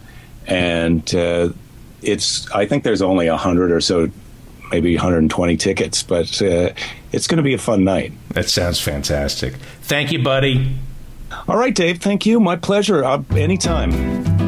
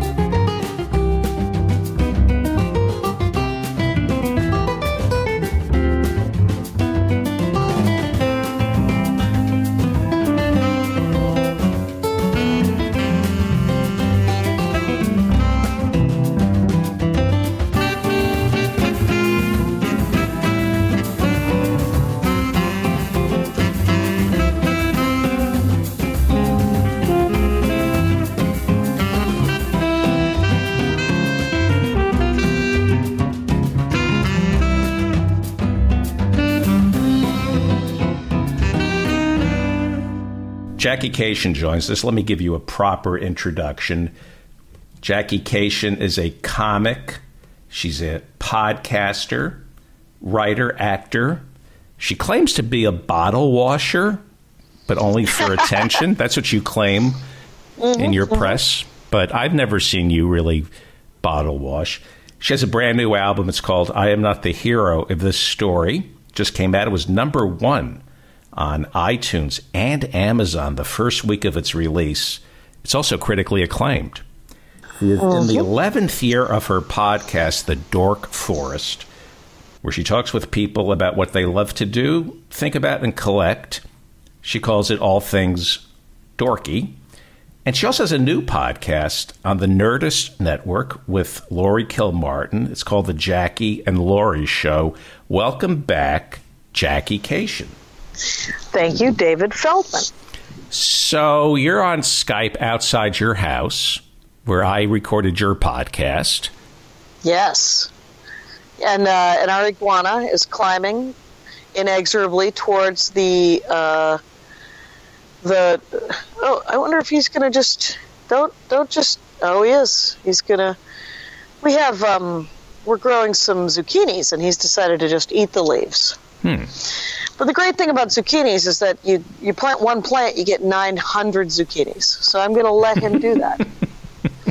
uh, one year we planted zucchinis and I planted six zucchini plants accidentally, and I flyered people at zucchinis. Um, at the Home Depot. So underneath their windshield wipers. Are you a what the heck? gardener? Do you garden? I do. I like. I, I do a vegetable garden. My husband likes flowers. He does flowers in the front yard, Hmm. And I do uh, vegetables in the backyard. We've already gotten because I live in Los Angeles. We've already uh, gotten a couple of tomatoes because we planted first weekend of April. It goes with baseball season. Boy, you're I'm just told. you're you're just normal and happy and healthy, and everybody It's- loves everybody loves you. I am uh, the golden retriever of stand-up comedy. You know, uh, there's nobody who doesn't like me. You're, you you know any- what? You're a, you're a service comic. You really are. You should wear one of those vests. Seriously. I'm a. I've described myself as Maria Bamford's service animal. I uh, I calm her down sometimes when we're traveling. Um, she doesn't touch my hair. I'm okay with that. And uh, so the uh, yeah, it's uh, yeah, it's it's a it's a beautiful day here in Los Angeles. I'm pretty excited about it, and uh, and I haven't talked to you in an age. So thanks for so much for asking me to be on the show. This is I'm, neat. I am so excited to have you on the show because you were one of the first guests I had on this show. You are Right. and we did our Comedy Central specials together. And Yes. are, are you fidgeting with something? What are you doing? There's some. What is that? There's what is that? I don't. I'm not doing anything. I'm Oh, just sitting hear- here. It might be the wind. Sorry about that. Okay. I'm passing wind in New York. It can't possibly be reaching Los Angeles. Is this the butterfly effect? That's what it's. It can happen at any time. The ripples. Uh huh. I, I I do think you are a service comic. When I see you, I calm. Like I'm calming down right now. When did you do your first podcast? It would have been September of 2006. Early, early, early. So you. Early days of the stand of, of the podcasting world for sure. Yeah. I'm going to ask you about that. I find that very curious. September of 2006, and it was the Dork Forest. Right, right. The Dork Forest, I did a joke. It was based on the fact that I just I did this joke about who I was willing to hang out with, because I was willing to hang out with almost anyone because I'm a big dork. But how deep into the Dork Forest was I willing to go to find someone I wasn't willing to hang out with? And um, and it turns out it was the war reenactment guys. But we didn't we didn't know that then. We didn't know that then. And uh, and it turns out specifically it was the World War II reenactment guys, because that's insane. Still people alive from that one. Let's wait till everybody's dead before you play the game, please. And uh, Which side So- were they? Who were they? Were they the Ah, they were- Japanese, the Germans, the Americans? they were they were. Um, it, it was this episode. It was actually an episode of the Dork Forest that I had to delete. It was about a guy who went to different garage sales to get um, World War II paraphernalia, and he would only buy Nazi paraphernalia, and that he would only sell it to Jews. It was such a weird, like line of demarcation. I was like, that, that you have reached the too dorky for me. What is happening? Yeah. and uh, then we let it go. We let it. Uh, it was the only episode that uh, that I I just deleted. Okay. I think we're getting a little wind. Okay. So I don't know what to do about that. September of 2006 was the iPod. Yes, there was an iPod, so it was available as a podcast. The the iPhone is 10 years old. Okay. Were you being distributed through iTunes? Is that where most of your listeners came from? Entirely. It was um, it was a podcast through. At, in 2006, there was like you could do a podcast, and it was just a phone-in situation. It was called Blog Talk Radio, and they still do it, but they were early adopters of this thing, where you could just sit on the phone like we're doing but the but the website would record it for you and then they would upload it to iTunes. What kind of response did you get when it first went up in 2006? Uh, pretty pretty light, pretty light response. It was well because here's the great thing about Blog Talk at the time is it had a live chat room that went with this. It was essentially a conference call, right? Mm-hmm. It was a conference call that was being recorded, and then um, there was a live chat room during it. So everybody would call in, and then I, I from my computer, would connect people, sort of like a radio station. And then we'd all have this group conversation about Wait a second. When I did it at your house, I had a phone in. Right. It went from phoning in to phoning. I would phone in, and everyone would sit at my house, and then. Yes, and we would all just sort of sit around in the living room with uh, different extensions. It was Right. really dumb. So Yeah. what year did I do your podcast that way? That's you must. You had to have done it before, I think 2009 or 2010, because then I switched over to a pre-recorded situation where there was no more chat room, and I would record it off of the board, and then I would upload it to Libsyn. Right, because Blog Talk Radio did took, took care of the sort of the, the, the hardware work or the software work of uh, sending it to iTunes and tagging it and get, getting a little website together. Did they come to you or did you go to them? I went to them because what I had heard was um, other comics were doing pre-recorded, and I had gotten reviewed by I think it was Max Fun, um, um, of Young America. They had re- they had reviewed the Dork Forest those early years, and had made fun of the sound quality. so I was like, hey, if people who are listening to the show want to donate, I will buy some equipment, pre-record, and learn how to edit.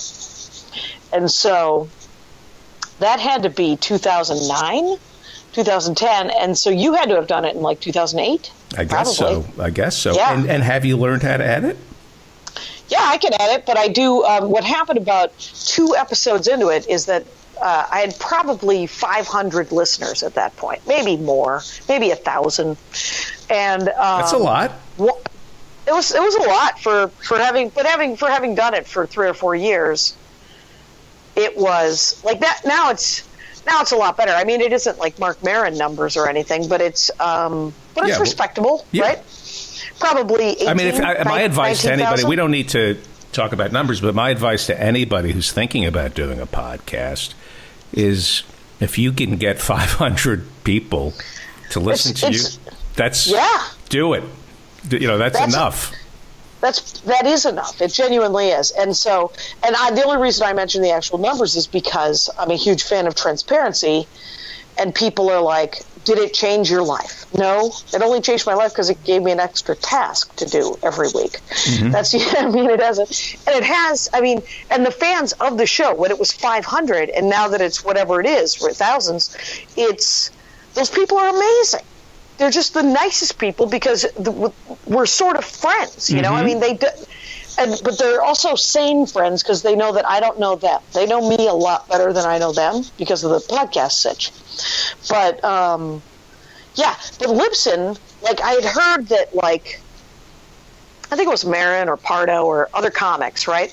We're going through this thing called Libsyn.com, and you pay them twenty bucks a month, and they have they, they make a little website for you they upload it to itunes they make a, a, an app for you and that was back when everybody had a different app for their podcast and i think there still is a dork forest app but i don't think most of my listeners just listen to it through their own podcasting app or stitcher or something like that. Are you with Libsyn?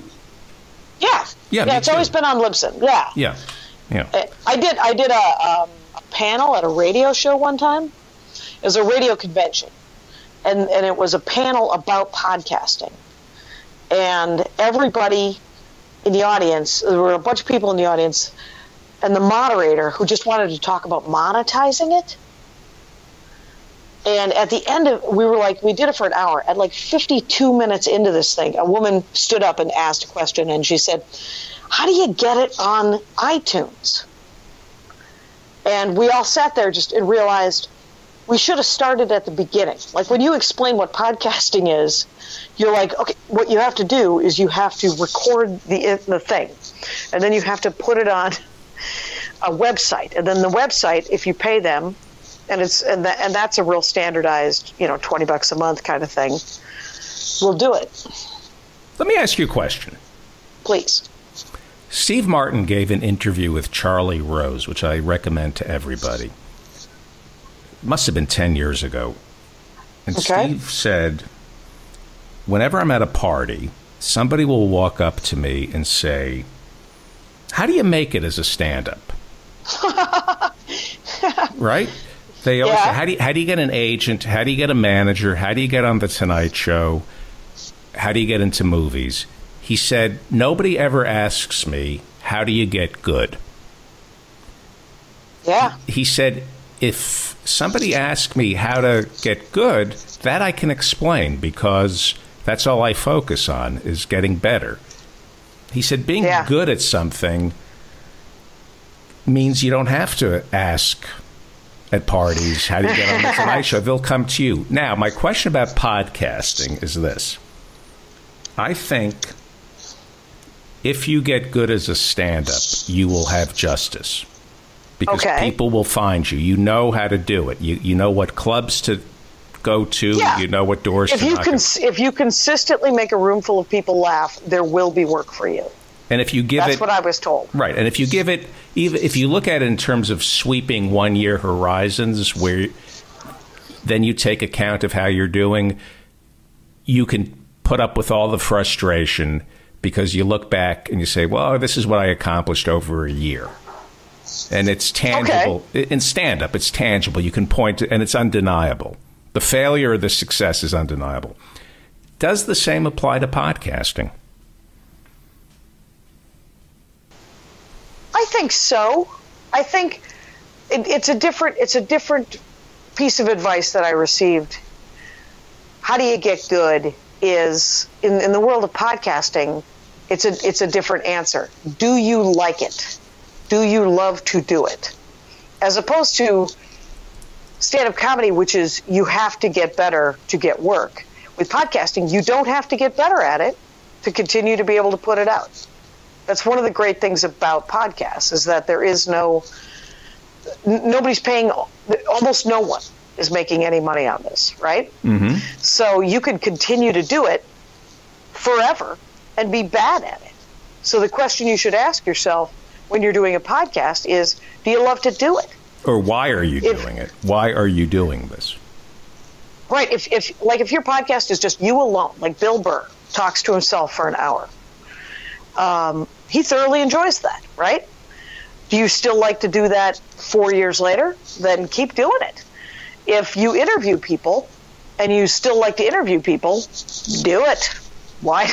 You know, I mm-hmm. mean, I'm 11. This is the 11th year of the Dork Forest, and I've gotten better at interviewing for sure. I've gotten better at it, and but I will say that, and there's there's a small amount of money in it, and there's a great deal, but there's a great deal of self satisfaction. Like I get a lot of satisfaction. I learn a lot. I laugh because of the things that people love. Like I still love the premise of the show, which is to ask people about what they love. You know, this week's episode is with a comic, and a lot of them are comics. My my guess, just because I know a lot of comics, but sometimes they aren't, right? And this week's episode is about a guy who loves uh, to go out and try different chicken recipes. well, that's hilarious. Let us let us discuss. Last week it was um, a woman who teaches swing dance and and um, square dancing and English country dancing. As she gets paid for it, but it's not a lot. That's not her day job. She does it for the love of it, so that's her dorkdom. And then Kostaki Economopoulos is coming on in a couple of weeks, and he talked about Texas Hold'em, Mm-hmm. the the poker game. Right. And then and then I just had a guy on who told me about Jimi Hendrix. And the, the music ones are hilarious because I genuinely don't know who anyone is. It Like, is- had- it is curious that people have this one thing. They have like their sexual fetish, and then they have their thing when there's free time to explore. And it gets even deeper now with the internet. Right, because everyone can have a niche. It's why the white supremacists found each other. it's very disappointing. Because So that's I owe you an apology. created. I owe you an Oh, yeah? Yeah, yeah. I alienated my listeners, I would say eight years ago, early on. Wow. With with an interview I did with you outside the Irvine Improv. Really? Yeah, I I was rude to you and I apologized and I paid a price for it. I got really it was the first batch of angry email that I got from my What are you what are you doing there? What is that? Me? Yeah, it sounds like you're filing your net. What are you doing? I was actually scratching my neck. Oh, Too do close. it again. Do it again. Is that it? Is that the noise? Scratch. I did. My right foot is it going up and down when you do that. Okay, so you interviewed me and you were a jackass about it? I wasn't a jackass. As I recall, Obama had just been inaugurated. We were doing a political fundraiser. Obama said we had to put away our childish things. I agreed. We had just mm-hmm. survived. Mm-hmm. We had just we well we didn't survive. We were just getting through 8 years of Bush where I mm-hmm. said everybody anesthetized themselves and didn't pay attention to what was really important and I said what's really important is what's going on in Washington D.C. I asked you about your hobbies and I kind of lectured you and said you need to focus on more important things. What you're focusing on is trivial. Hmm.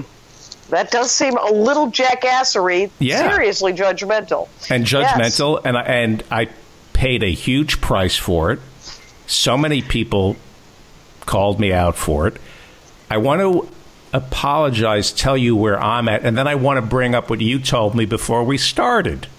Cuz you kind Okay. of you've circled back to politics, and I want to ask you about that. You're doing politics in your new album. I'm not the hero of this story. For the first time, you're talking about politics on stage. So I want to. I don't want to take back my apology, but I want to circle back to why you're talking about politics. But first, I am obsessed with the royal family in Great Britain and the United Kingdom. What helps me fall asleep is reading or watching documentaries about Queen Elizabeth, Prince Philip, and Charles. I'm not interested in Diana. I'm also interested. What about go ahead. Harry and William? Harry Nah, and William? No, no. I'm interested in in history filtered through the Duke of Windsor, the abdication, the war, Okay. Queen Elizabeth, and one of the things Queen Elizabeth said was, "We are relevant, even though we have nothing to do with government. There's more to a nation than what's happening in Parliament."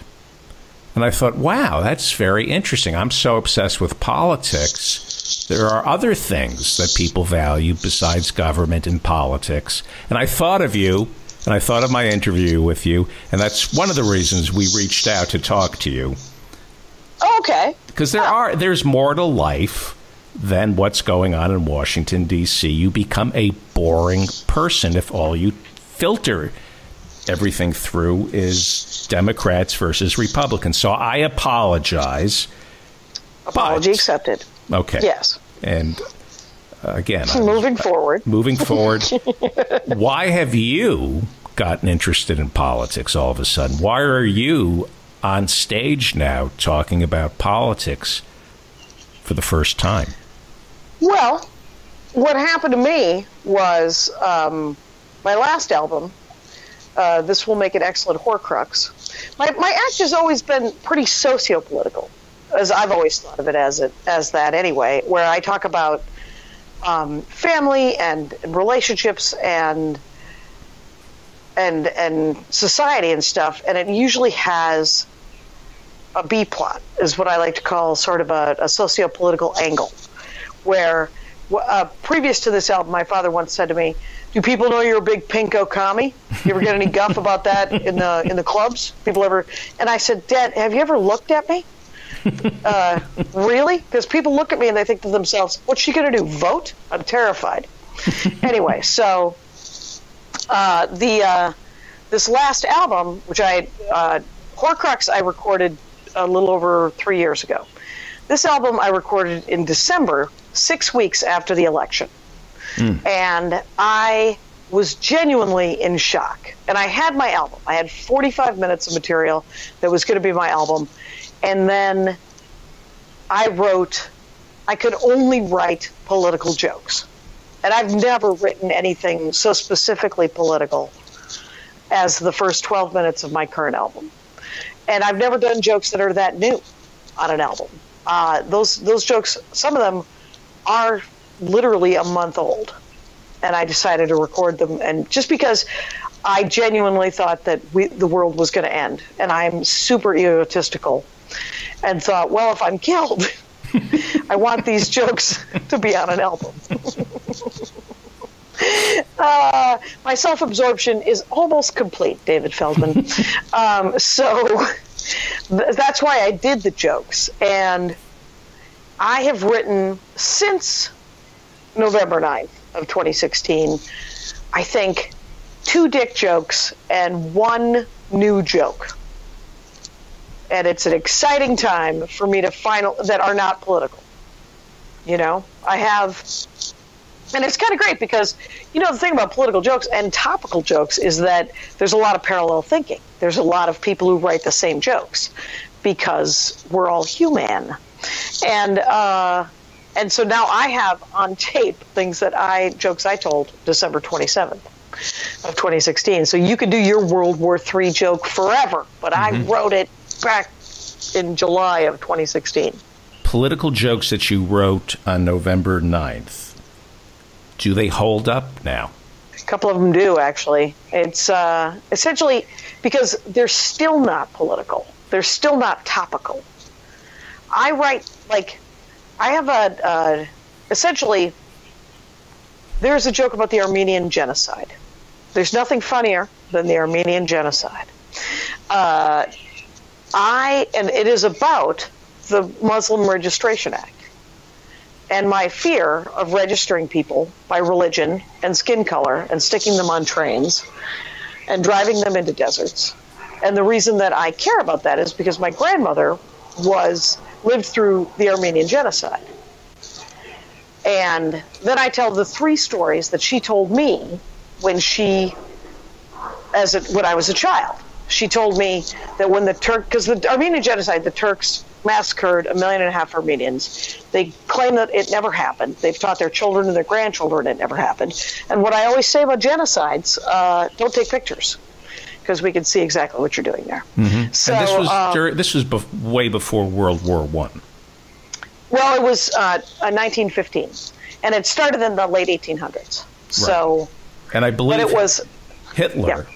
said about Mm-hmm. the final solution for the Jews was who remembers the Armenians? Right, and he was, of course, correct. Uh, we got bad pub.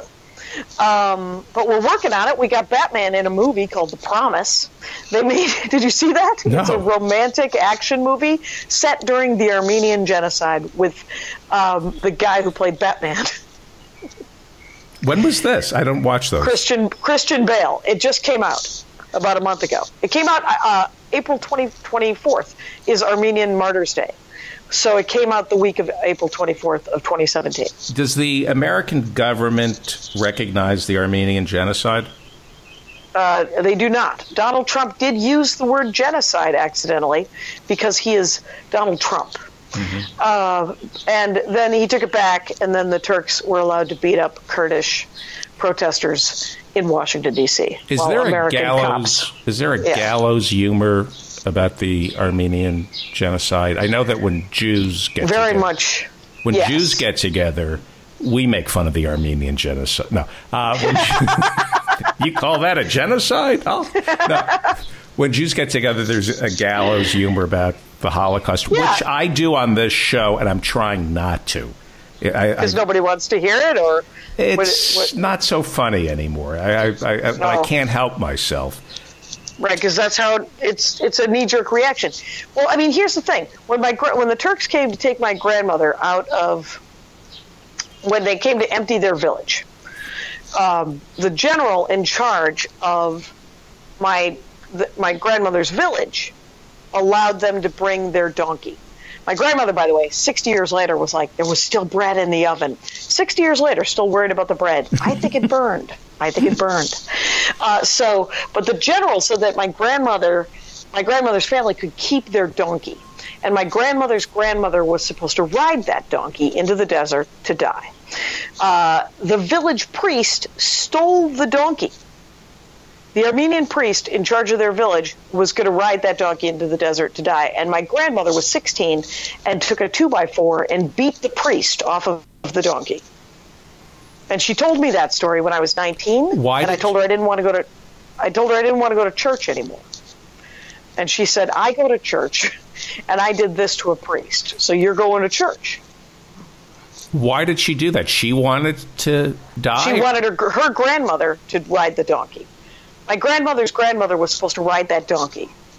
That's why the that's why the general said that they could take it. The priest didn't have his own damn donkey, so he was like, "I'm going to ride the donkey." And my grandmother took a two by four and beat the shit out of him.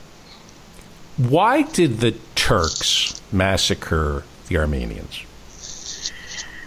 There's a lot of speculation that because the Armenians were very successful financially in the Ottoman Empire, and they owned a lot of land, they did a lot of banking. It's the it's they were the Jews essentially of the of the Ottoman Empire. The reason uh, less le- more confusing, why did the Turks kill the Kurds and the Assyrians? They claimed it was uh, Christianity because the Armenians are Christians and the Assyrians are Christians.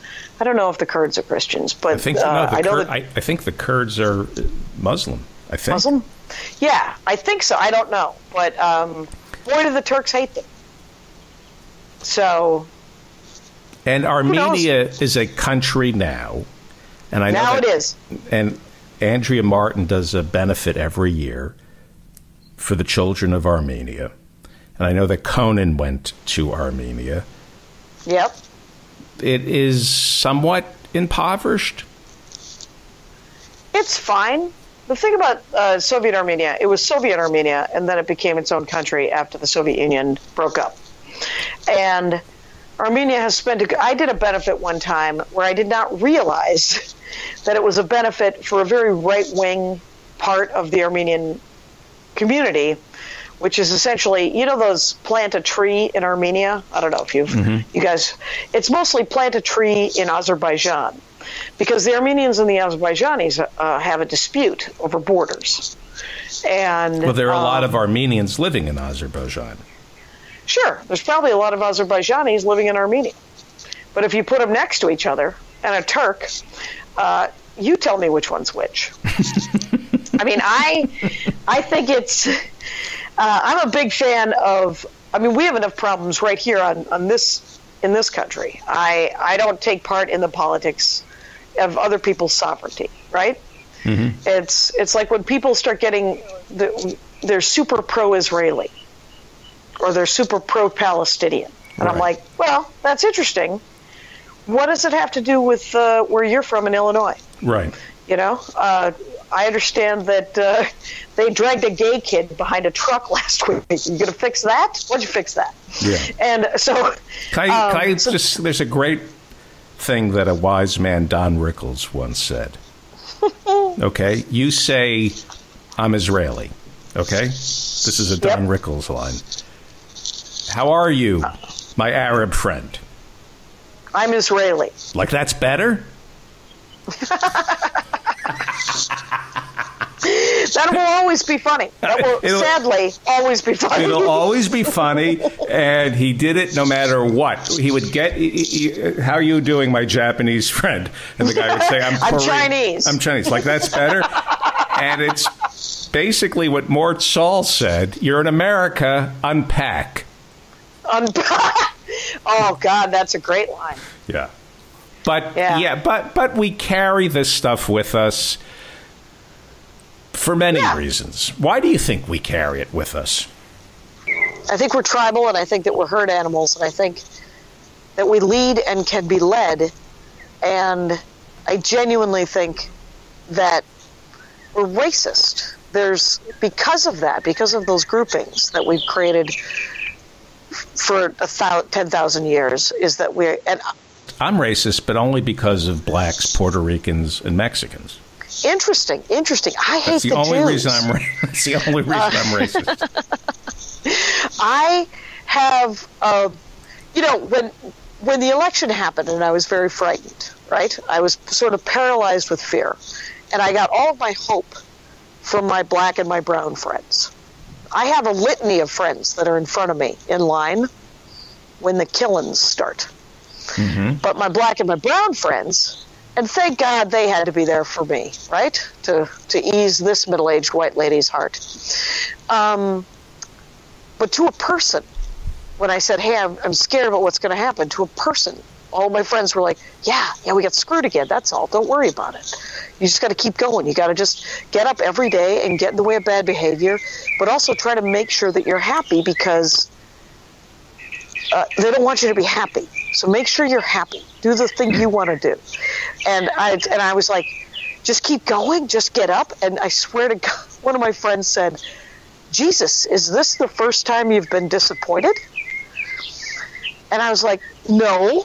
And I got defensive and I was like, Jesse Ventura, uh, Ronald Reagan. And then I realized this is the first time with Nazis and Klansmen, you know?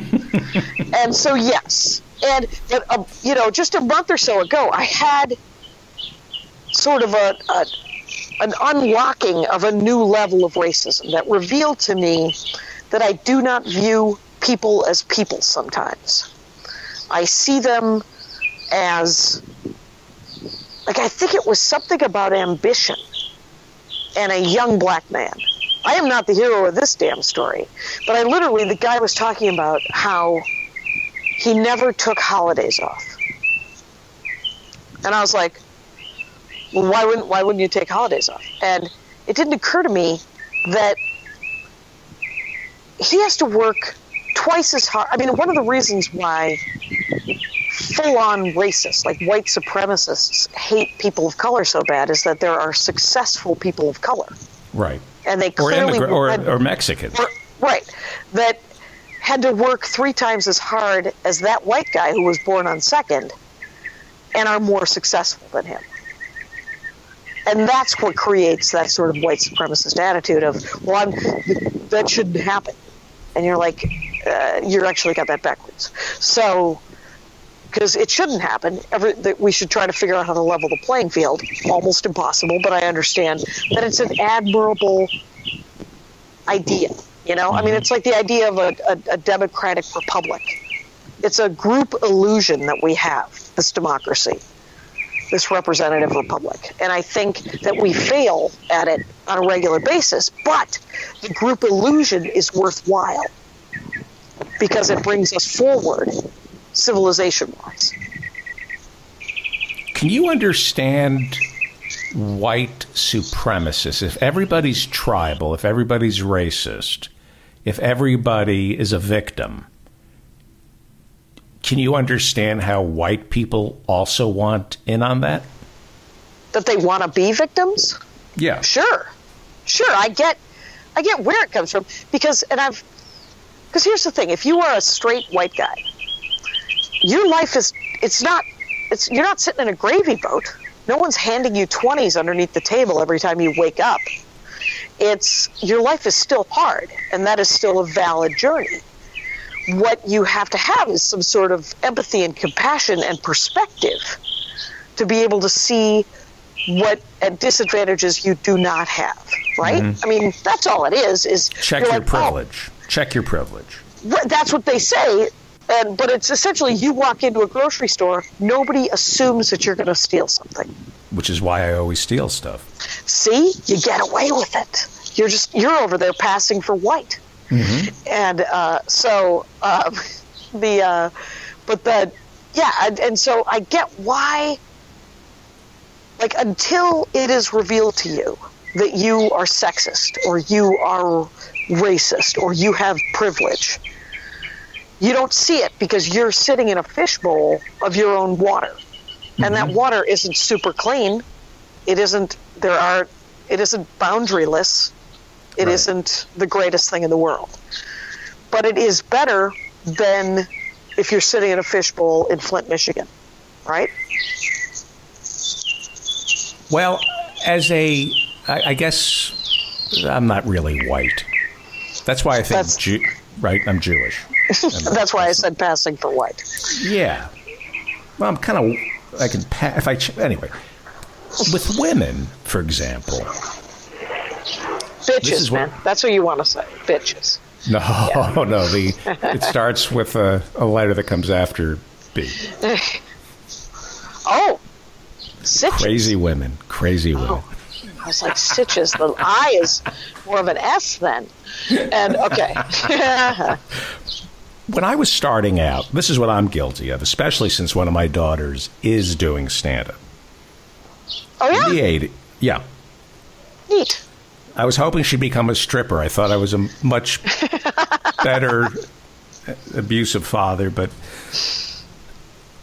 when I was starting out, this was conventional wisdom about female comics. And this is what I'm confessing to. Not that I oh, right. acted up, huh? Okay. What do you I'm, think? What do you think? I'm girding I, my loins. Yes. Go on. what do, what do I think? What was, do you uh, think in the '80s? White male comics said about female comics that they're not funny. What else did they say? I didn't say that.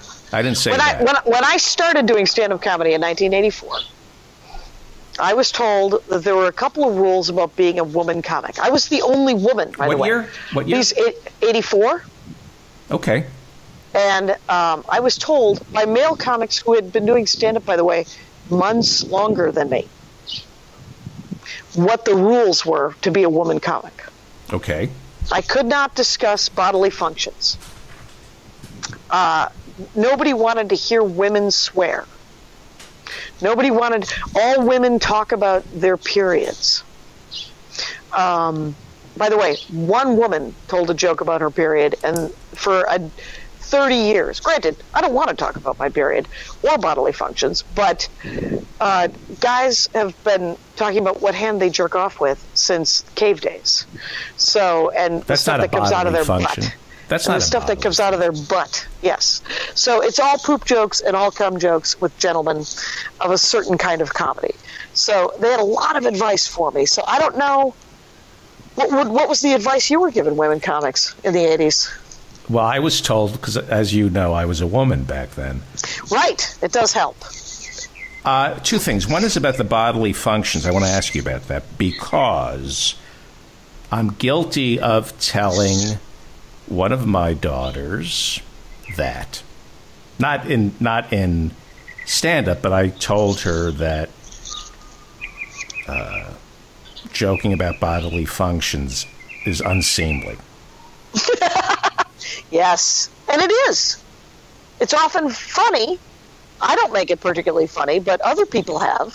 Whereas one of my sons, this is what would happen.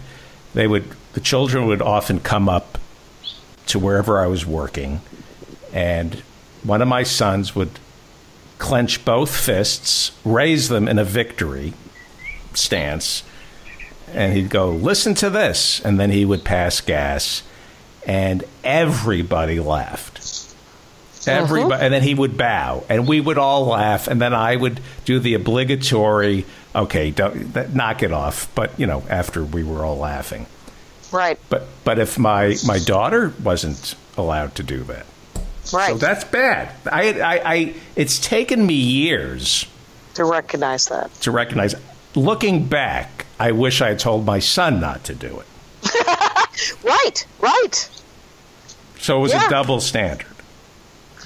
Enormously so. And people don't. Now is that a misdemeanor? see it. Is, that- is that a felony? Is that a misdemeanor? Is it? Is it? I mean, I can sleep at night knowing, and I still, in my heart, think I was right for telling my daughter that. It's neither a misdemeanor than a felony. It's more of ground cover. It is. It is the standardization. There is no way to undo that except for at its most basic. In the last 15 years or so, women comics have talked about bodily functions more than ever in my life of doing stand up, right? And some of them are hilarious about it. And some of them aren't. Many of them aren't, because uh, that's the way it is with stand up comedy. 90% of it sucks. And 10% of it is good, and 1% of that 10% is amazing. So, but there's no. Well, let me ask you about that. About this. Would you say, uh, sweeping generalization here, Okay. most most male comics do stand up because they want to get laid?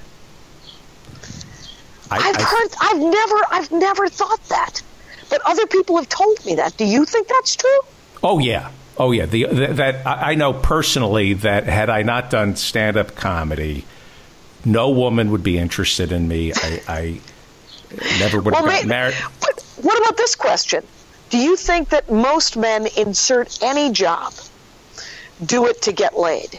Yes, So maybe to be a man means to try to get laid as Yes. a sweeping generalization. yes, and I think women do things like when a woman shows up to work. This is why I think men had so much trouble trying to understand Clarence Thomas versus Anita Hill. And I'm ha- I'm really having fun here because I think we're making a sweeping broad generalization that's true. Okay. I think most men show up to work and they want to get laid because they think about sex all the time. A woman shows up to work to do her job, to make rent, to pay her bills, to make 70 cents on the dollar. And the guy is off there going, But what about getting laid? Now, I, I can get laid anytime I want. I'm a woman. Shut up. I will say this is that what I I am we're of an age, so I hear what you say and know there's part of me that genuinely believes that. But what I have seen empirical evidence, well, more anecdotal, of the last 15 years is that women might do stand up comedy to get laid. We also wish to get laid a lot. Right, right. And I'm putting up resistance to that. Right. I think we might be wrong because this might be a generational thing. Who's wrong? I think we are wrong that Who's women want to get your statement that says that uh, men do things to get laid, women or men go to work to get laid, women go to work to make money. Um, I think everybody does everything to get laid. Okay, when did you Uh, just now. Oh, okay. So let, let's. This is important to me. Okay.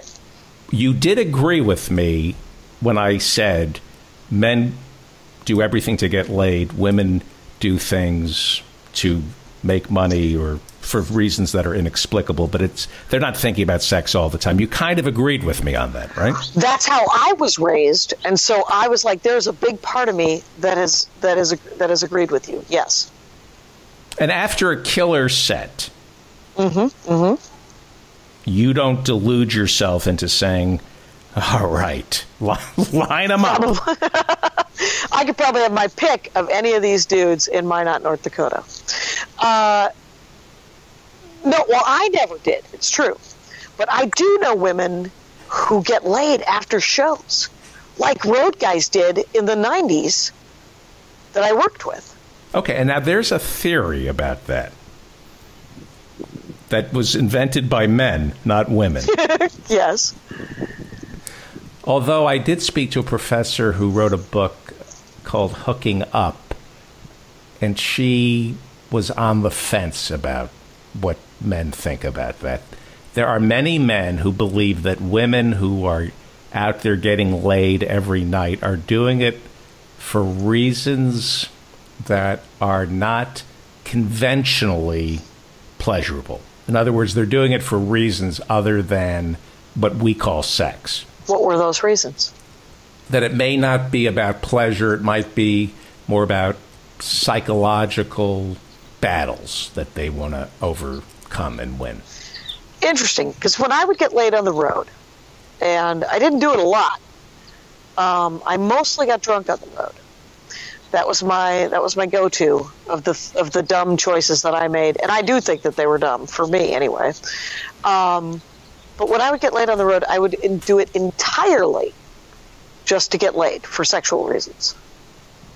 I literally, romantically, used to refer to it as getting a tune-up. Very romantic. I felt like a classy lady. And uh, and when you do get laid as a woman on the road or anywhere with strangers, and that's what I was doing, it's very hard to have an orgasm because you're poised for flight because you think that you're about to be killed at any moment.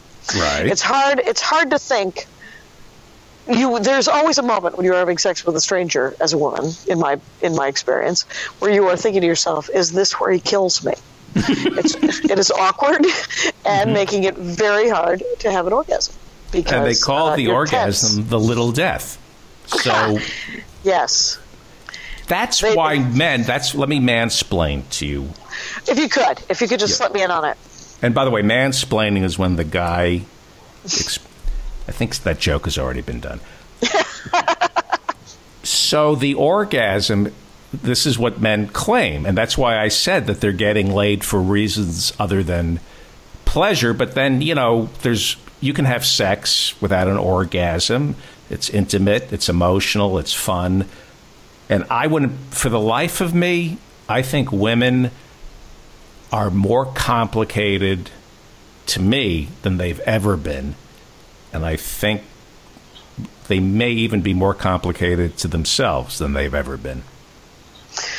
I think that this this next generation of women that were that that I meet, these women that I meet, are so open to trying to figure out what the heck their purpose and point is in life because they see the advantages and this is serious, is they see the advantages of being a, a man. The advantages of being a man is is that you could have a lovely career and then in your 40s start having kids. And um, if you are a woman and you have four eggs left and they're marinating in extra chromosomes, it is hard to do that. And is that is that true? That that it's harder to have kids when you're 40. That you get more, there are more chromosomes if you wait. I think so. There's trouble. There's there's trouble. Uh, I have about four eggs left, and uh, there's. I wouldn't recommend any of them become babies, just because there's going to be an extra elbow there. But um, if all right, let me let me address that. Okay, if I may, please. There are some men like me who say, we don't want women to be like men. We want women to carve out a brand new frontier and make men more like women. Like That the sounds like lean in- women are the- doing the heavy lifting there. Why are the women having to reinvent themselves and fix you? What's happening? Well, well the, the, the, the blowback, the pushback from Sheryl Sandberg and Lean In Mm. is kind of an acceptance of male behavior. That's what she was basically saying. Oh, right. Lean In. right, I'm right. sorry? She's like, yeah, if you want to win the, the male game, you have to be a man, which is traditional old school feminism. In the feminism I grew up with was you have to play men's games with men's rules, then they'll accept you and you'll make it further. But they're then- never going to. But they're never going to. It's it's like Bill Cosby and O.J. Well, bad example. It doesn't. Well, it doesn't. But- It, it doesn't work, is what you're saying, and I believe you are correct. If I if I'm right, right? Uh huh. I've straddled both generations. Mm-hmm. Women uh, approach comedy differently than men do, I think that's true. and But I why change? And so why change that? Well, I don't think. I don't think having women in the writings room changes the women's writing. I think it changes the men's writing. Mm-hmm. But it doesn't change the men's writing. It changes. It's like. I don't. I don't know if I'm actually answering your, or giving an opinion on your question, but it's, it's some people. There, there are shows that book a plethora of white dude comics in stand-up comedy, and they're like, well, these are the guys, these are the squeaky wheels, you know, these are the guys that I know, or I'm a white guy and I happen to know a lot of white guy comics. They're all funny. Isn't that something? And you're like, that is something. That's great. But half of your audience, or even if it's only a third of your audience, is black or a woman or some other race besides white guys. So it's just offering, it's a way to, ex, as a capitalistic moment, it's a way to expand your business is to offer more women in the in as comics or you know you get yourself you know go out on a limb find a filipino lady who's gay with a limp and uh, and it's going to psych out like three people in the world and they're going to be psyched but they'll come back to your club and you'll you'll build more you'll make more money if you mm-hmm. diversify that that that is an actual economic fact is that if you could sell to more people, you will make more money. And if if if you have a writer's room where let's say the show is The Americans. By the way, a show I've never seen. Sounds it's supposed to be amazing. but is. and you and you have a lot of white men that are in there writing it, and then you have some women, and you have some. Uh, you know, a black guy comes in and a, and a Mexican woman comes in, whatever. You get all these different perspectives. The stories that because in those writers rooms to my knowledge you're actually mining your own life for stories. And if it's a if it's a, an hour long drama or a sitcom and you have more perspectives that show can last longer. That show can have more layers to it more depth and appeal to more people Right. and and that's why I'd want to mix up a writer's room. I don't want any part of a writer's room. Here's my question to you, David Feldman. You've been in a lot of writers' rooms. I've never wanted to be in a writer's room because I always picture this: eight to fourteen hour days sitting in a uh-huh. room without windows, sweating, telling fisting jokes until someone says something funny. Yeah, but that's because I'm there. I call them whiting rooms, whiters rooms. Mm-hmm. Uh, the Americans, I watched a little of it. It was excellent, but there's a plot where the wife is sleeping with a black guy, and the message from the show is that black people were more susceptible to the KGB especially black militants during the 60s and the 70s. Well, there's an interesting plot point. And so she's sleeping with a black militant who's a KGB agent. That was kind of like a blood libel against Martin Luther King and Jesse Jackson that they were serving their their Russian overlords. Kind of racist and was never really borne out to be true. Right. And, and I was at the Writers Guild Awards, and the Americans won. And I was curious to see who would go up there and accept. I don't think I saw any African Americans writing for that show. So there is some. Again, I've only seen a couple of episodes of The Americans. I didn't like that storyline where the African American was more susceptible to the KGB because of the oppression of blacks in America. Found that offensive. Right. And I didn't see any black writers.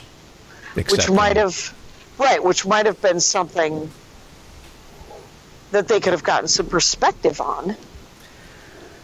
Uh, yeah, then you have then you have like Wyatt Cenac speaking up at the Daily Show about Jon Stewart doing that Amos and Andy voice, mm-hmm. and it got ugly, and Wyatt left. Yeah, and...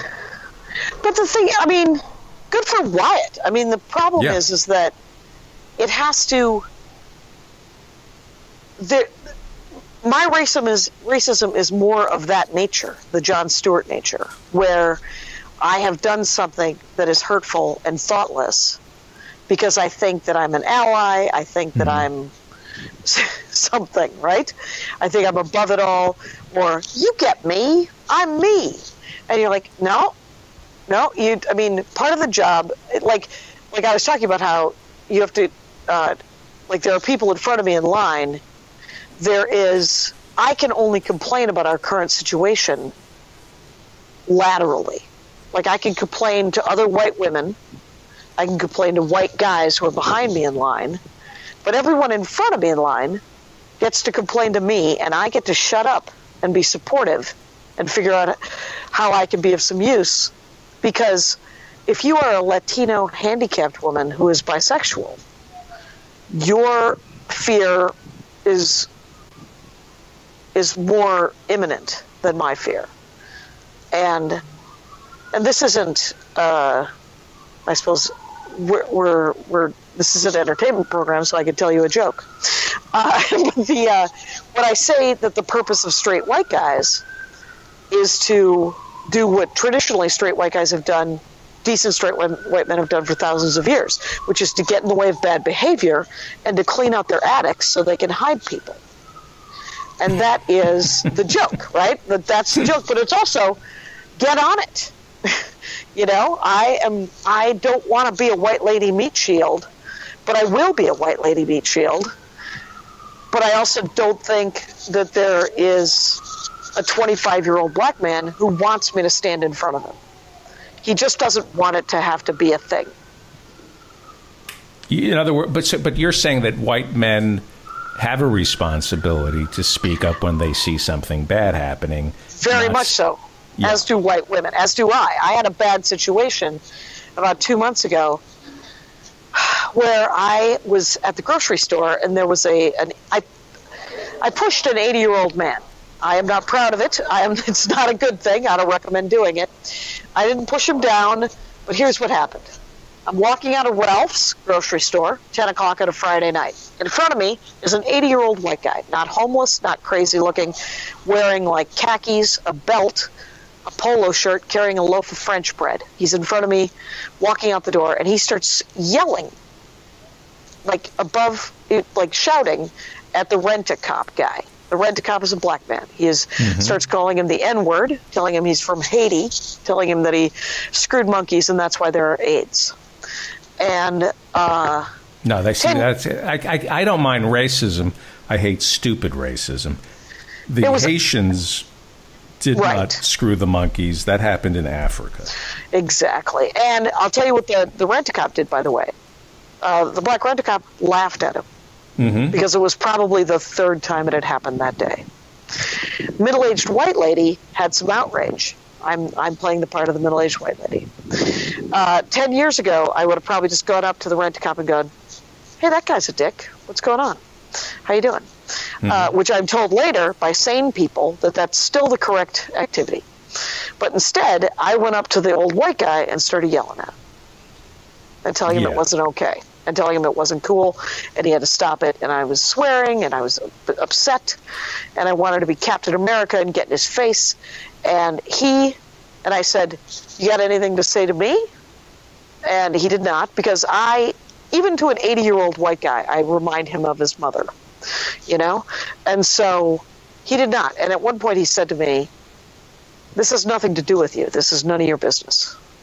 And I said, "It has everything to do with me because this is America, and I'm American."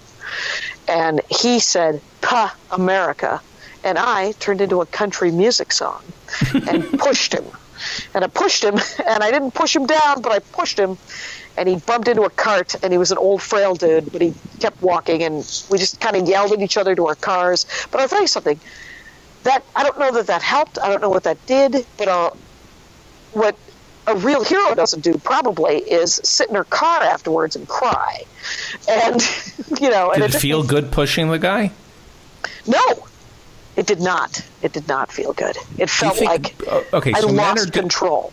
Okay, but so I again sweeping generalization. I'm going to say that a man who pushed the old man is going to have conflicted emotions about that. One part of him is going to feel good that he pushed a man. Okay. The other part is going to feel bad that eh, I shouldn't have pushed an 80 year old man, but I did. But I did push a man, and he backed off and didn't push back, so I won that. Ah, That doesn't I didn't go have on any of women. that. Yeah, I did not have any of that. I did Would you have I, shame? Would you have shame if a woman pushed you and you just walked away? Um, probably, but I'm a little aggro. Um, Aggro? I'm aggressive. I am a. a I'll tell you. Here's another great story of. Well, hey, before every- you get there, before you get to Yeah. that story,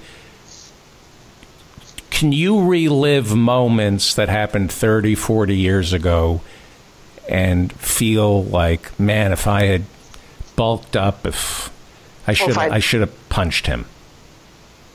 Yeah, You really? yeah. There are times when I should have stood up when I did not. Yes, I'm talking about physically. yes, And does it haunt you? yes. I was. I've been sexually abused twice in public, Oh, okay. and I did not do anything about it. I I'm just sorry, let it happen. You, you, you what? I didn't do anything about it. I just in- let it did happen you say in, you were sexually abused in public? in public. Yes. And it was once on a bus when I was about 17, 16 or 17, and once on Venice Beach when I was getting massage from an old Chinese dude. And that guy, I tipped him. I'm still gonna be, I'm still gonna be uh, mad about that. So sexual, so improper touching. Yeah, the Chinese guy had his fingers up my vagina while he was supposed to be massaging me. And I just moved my leg to get him out, and then he went away, and then he came back, and I was like, okay, I'm done with the massage. And then I just paid him and tipped him and left. And why I do I to do- want to I make? used to why, do a joke why is it. and why is it? I have like ten jokes I want to make. because it is horrifyingly funny. That's why. Because it's, I mean, because we're comics. what are you going to do, David Feldman? It's, uh, I used to do a joke about how I was going to, um, that what I would should have said was, that's where I keep my vagina. Uh, you're going to have to get away from me. And then somebody said, you should sell a T-shirt that says, that's where I keep my vagina. And I said, I would rather not. Uh, I would ra- that or the T-shirt that says, that's where I keep my vagina with an arrow going to the left, like I'm with stupid. Uh-huh. And um, so none of that. So, if, do you mind if I pursue this for one second? Sure. How much did you tip him? No. Just a tip, an inch. What? Ah, boo! Anyway. um, um, I forgot. I had a question about that. Um, did, all right. I, I my mo- I got upset. I was gonna. I had a serious question about that, but then I'm getting upset. okay. Um, do you think about it a lot? Do you feel like you should have reported him? Would the would No. you No, I don't. I don't think about it. I don't think about until recently. I genuinely just thought, "Oh well, it happens to everybody.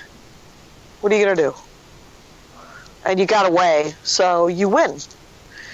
Uh, and there's a whole new generation of women who are like in the moment, much more present, and are able to say, "Hey, jerk off, that isn't okay.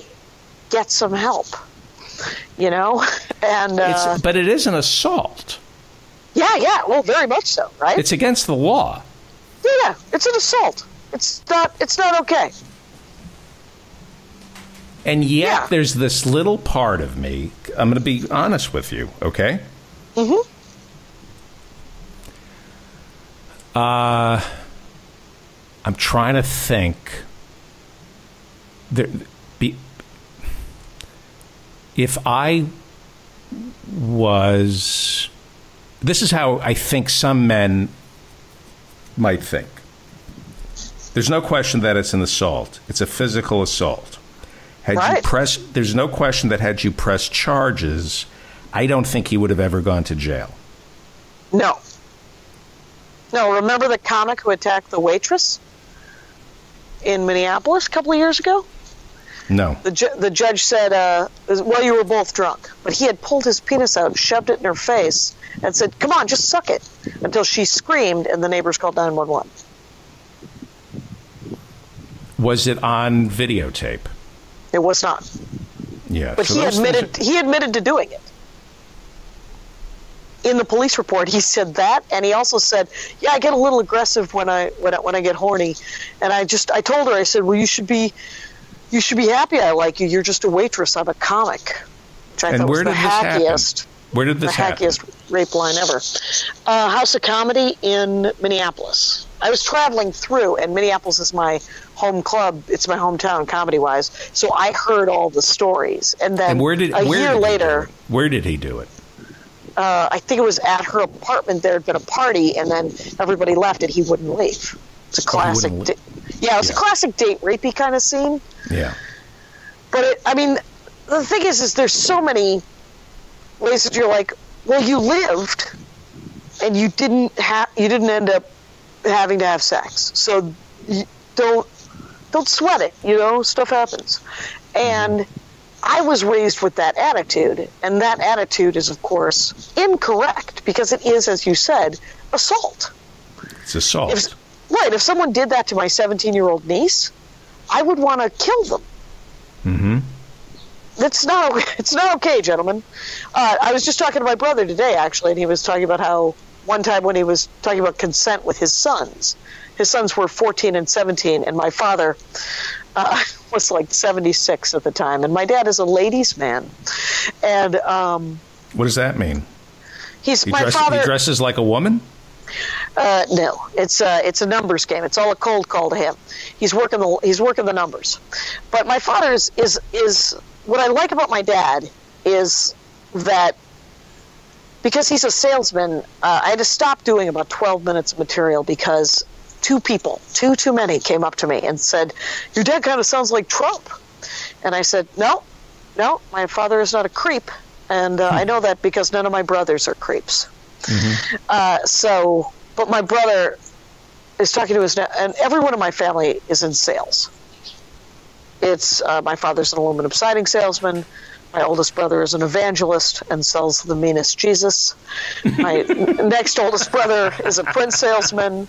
My third oldest brother is a commodities broker. My fourth oldest brother is an econ professor, and my sister is a financial advisor. And you Anyway. went to and you went to Madison, right? Yeah. That's what I said to you. Now I remember. Oh, because I have a degree in political science. Right. And I was rude to you eight years ago. I said, Why are you wasting a political science degree from Madison, Wisconsin, one of the great universities in the world, talking to people about Comic lar-. LARPing? LARPing, yes. So Boy, Um, people get mad at me for saying that. that's because LARPers are some serious people. They make their own costumes. so is your dad is he is he still married? He's been married three times. He got married the third time to spite my stepmother, which made me laugh and laugh and laugh. Um, and then they were divorced very quickly after. But my father's 80, And this is how he hits on women. This is a cold call with my dad. He goes to the grocery store, he goes to the frozen food aisle, gets a frozen dinner, walks up to a woman in her uh, late 20s, early 30s, because that's his cutoff. And, uh, and he says, Is this enough food for a single man? That's the pickup line. And I have always made fun of him, and he's like, What? I got something else to do? Sometimes it works. Does And, it work? uh, Does it work? It has worked for him, yes. And With 20 somethings? my father's very charming. Yes. And um, but so my brother and, and his sons, who are 14 and 17, are sitting around, and everything is a sales analogy. Every lesson in my life has a sales analogy, like picking up, you know, picking up women. That was my father's. It's a cold call. It's a pitch, and so my brother is talking to my nephews about consent, and my brother said, you know, no is non-negotiable. There's no reason to force the sale. You can't, you know, you might be able to convince them yes, but there's no reason to do it. Just let it be no, and then if it's yes, she'll tell you. Tomorrow, mm-hmm. next week, she'll let you know. Don't worry about it. And then he said, the weird thing about sex is that there will be more sex in your life than you can imagine right now. It'll be fine. And then my dad pipes up because he has to, and he says, yeah, women are like streetcars. There'll be another one by in 20 minutes. That's a line from some girls. Oh Mick my Jagger. god, classic stealing of lines with him. Because I, I was like, what is Dad Orville Redenbacher? There's not, there's not like streetcars. That's a line from a, a song. Mm-hmm. Which song? Uh, some girl. Uh, uh, no, no, not. It's from the album Some Girls. What, uh, what's the matter, man? I have to go check and see where my iguana is. So tell me that story. Uh, it's from. Uh, yeah, it's from the Some Girls album. I find women are like streetcars because halfway through I want to transfer. Oh my god. All right, I can't find my lizard. Oh, there he is. He's just sitting underneath the iguana. Uh, he's uh, my my iguana is sitting underneath the. Uh, I find Zucchini. women are like streetcars because I have to pay first to get off. to arrive, I oh, uh, I can't just writing bad jokes. That's all. I, I, I wish I could. If I could just impersonate Bill Cosby, that's all I would do. I would talk like Bill. I have a question about Bill Cosby for you. Yes. Bill Cosby at this time is currently, to my knowledge, not doing stand-up comedy because he cannot get booked because 52 women have said that he raped them while they were unconscious.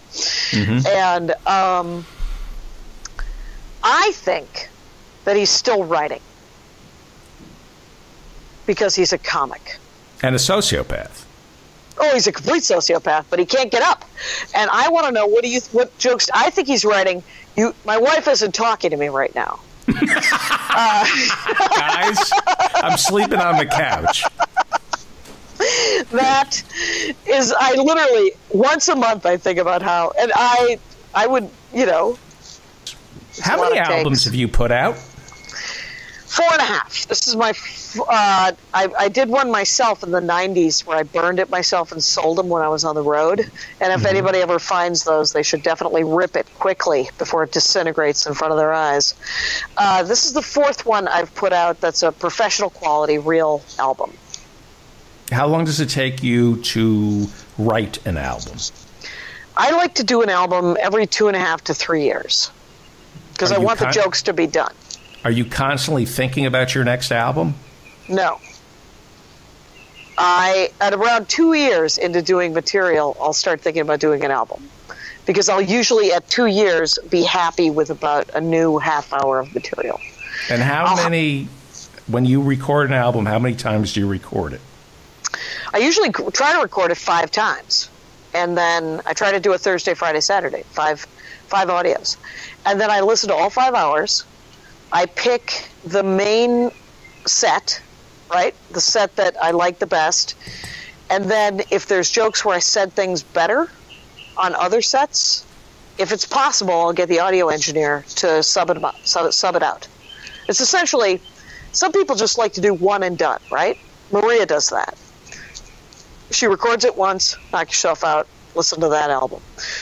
I like the idea that it's sort of like a, a Photoshop, you know, situation where I don't want you to Photoshop away my flaws or the aging process, but I do want it to look like I look on the best possible day.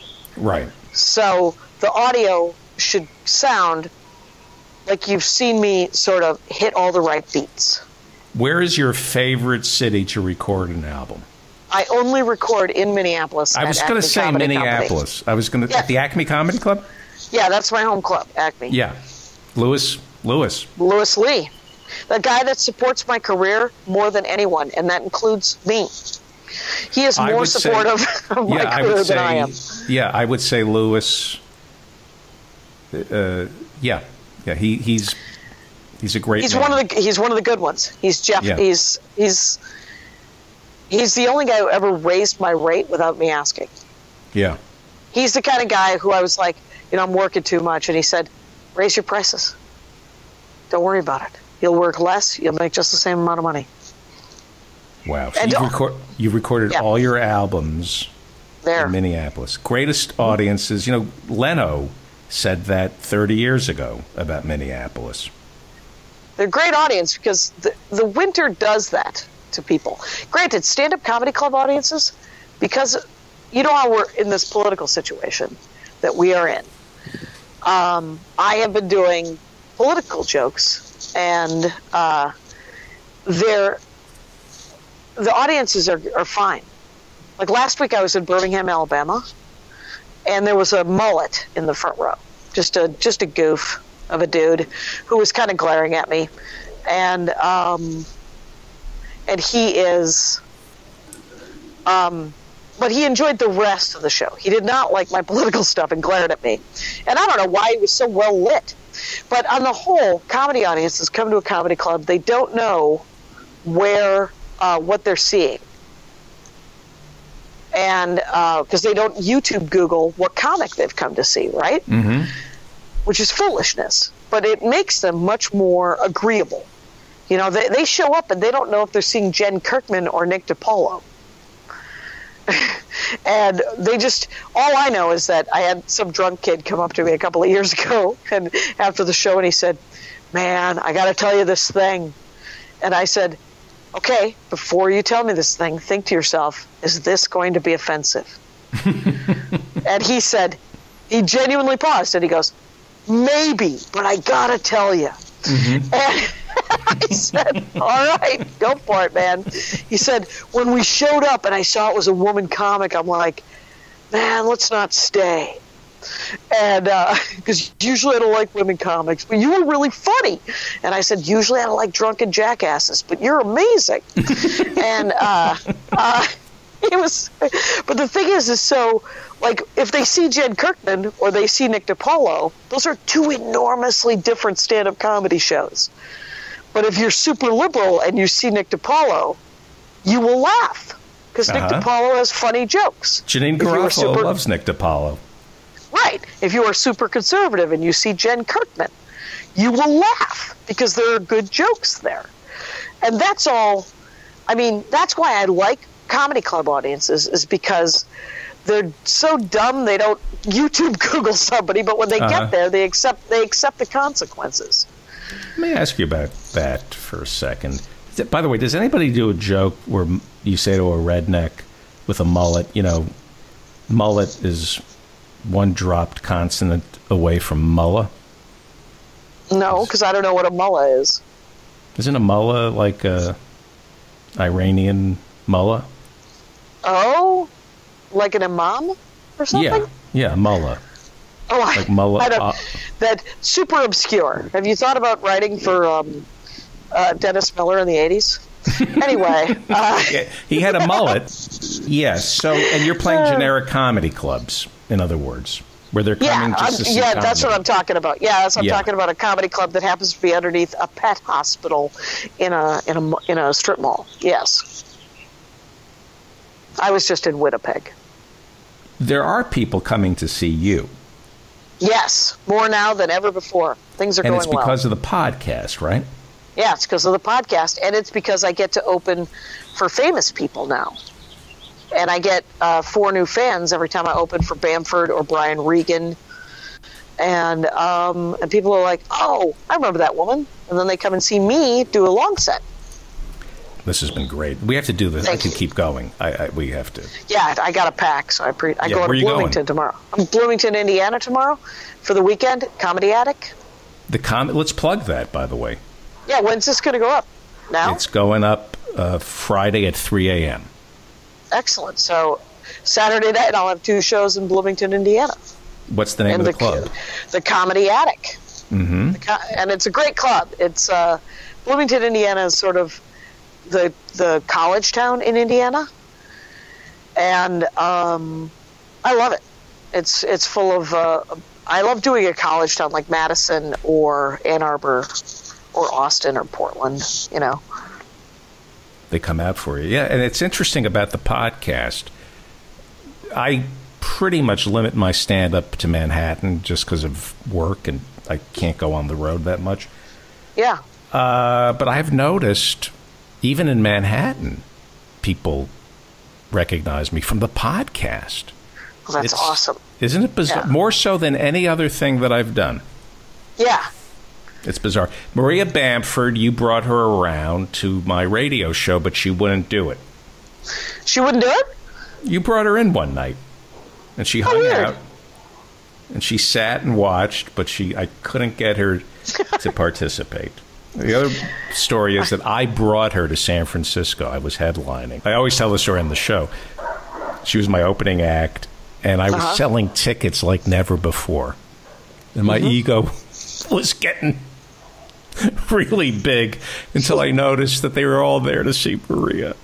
Oh. wow! The Star is Born. I felt like Kris Kristofferson, and she was Barbra Streisand. Well, this has been too. It has not been too long. It's been too long since you've been here. It's been too short while Yeah. you've been here. Jackie Kashian will be at the Comedy Cellar in Bloomington, Indiana, starting tonight. Go Attic. see her.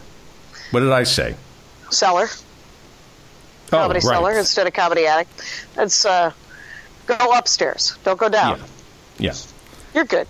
I'm. Um, I don't even want to get into it. Uh, But I'm coming to New York. You we got to hang out. when, when are you coming to New York? Uh, I'm, I'll be there for a couple of days in August and a couple of days in September. Where are you So- playing? I'm opening for Maria in I think August, and I'm doing the Cinder Block Comedy Fest in Brooklyn in September. And you have a new podcast with Lori Kilmartin called The Jackie and Lori Show. Right. If you don't want to listen to two middle-aged white guys talking about comedy, tune into the Jackie and Lori show where two middle-aged white ladies. are, uh, it's not exactly a step forward; it's more of a lateral move. Jackie's brand new album is I Am Not the Hero of This Story. Listen to The Dork Forest, now going into its 12th year. Yeah. Congratulations. Come back. Thank you.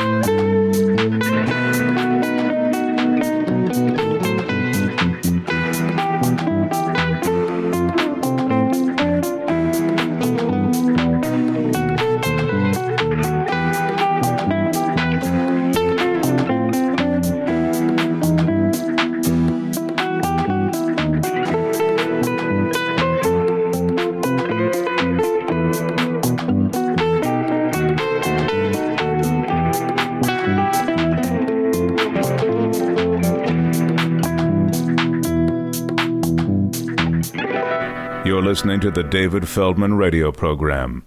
You sad, pathetic hump. Time once again for Fridays with Corey. I don't know, it just doesn't sound as good as Tuesdays with Corey. I thought about whether we should. Is it very important to, for the name to, to always do it on Tuesday because it's a good joke? Well, I think it's funnier to do it on Friday and complain that it doesn't It doesn't work. doesn't work. professor Corey Brettschneider is a constitutional law professor. When the State Speaks is his book. I started it last night. A couple of my listeners actually purchased it. The first chapter is about the First Amendment and speech. So I wanted to talk to you about that. I wanted to talk to you about impeachment, congressional immunity. And does a candidate have immunity? Can a candidate for office body slam a reporter, get arrested, and not be able to campaign? But first, you were in England attending a First Amendment conference. How was that? I was terrific. Uh, it was hosted by a professor at University of London, University College, named Jeff Howard, and it focused on all the issues that we're talking about: free speech on campus, the issue of incitement, and how you deal with terrorism, and issues of free speech. And it was really a great, great series of talks and, and discussion with a, a nice turnout too. It's in a weird building, really interesting building at the University of London that has the, I think it's the stuffed body of Jeremy Bentham, who's like in the first floor. Was Jeremy Bentham kind of like the precursor to communism? No, I think he was uh, sort of, it was an attempt in the 19th century to rationalize politics and to kind of get bias out and to try to base politics on empirical evidence. He's the first Was it utilitarian? utilitarian, yeah, Yeah. and uh, that's sort of his contribution. He's kind of a founder of economics, and he thought basically you should he had a simple idea: you should make policy to uh, always make more pleasure and maximize pleasure and minimize pain, and, and he thought you could kind of do that with an empirical formula about about pleasure. Did he predate Marx? Yes, yes. Uh, well, I guess they were. I have to look. I, they were both 19th century, and I think they were contemporaries. They over, overlapped in their in their dates. And they have his stuffed body there. Yes, yeah. It's pretty odd on the first floor, University College London. I don't get that. I think it's you know he taught there, and he's you know they always want him to be close, something like that. That is that is very creepy. Yeah. Great conference. I Yeah. What was the most surprising thing that you learned during the conference? There was a lot. There was a terrific talk on free speech in India and how censorship works through a variety of different mechanisms, including Rushdie was banned through basically the law of tariffs and importation. Salman Rushdie, The um, satanic verses. exactly. There was yeah. a fatwa on his head yeah because he, I guess, insulted the Ayatollah in Iran. Correct. Correct. And he was banned, I think, under blasphemy laws in, in India, but they didn't do it by just outlawing the reading the book.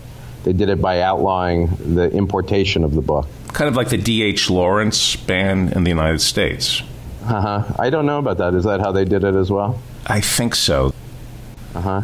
Jeff Howard, who I mentioned, gave a terrific talk about how to rethink free speech and kind of arguing for, you know, England has a much more restrictive law of free speech than we do, and he was pushing in that direction why it is that maybe caring about advocacy of terrorism. I mean, this was before the events uh, recently happened. That it might be important to outlaw certain forms of advocacy of terrorism, not just not to have the strict rules protecting it that, that we have in the United States under the First Amendment.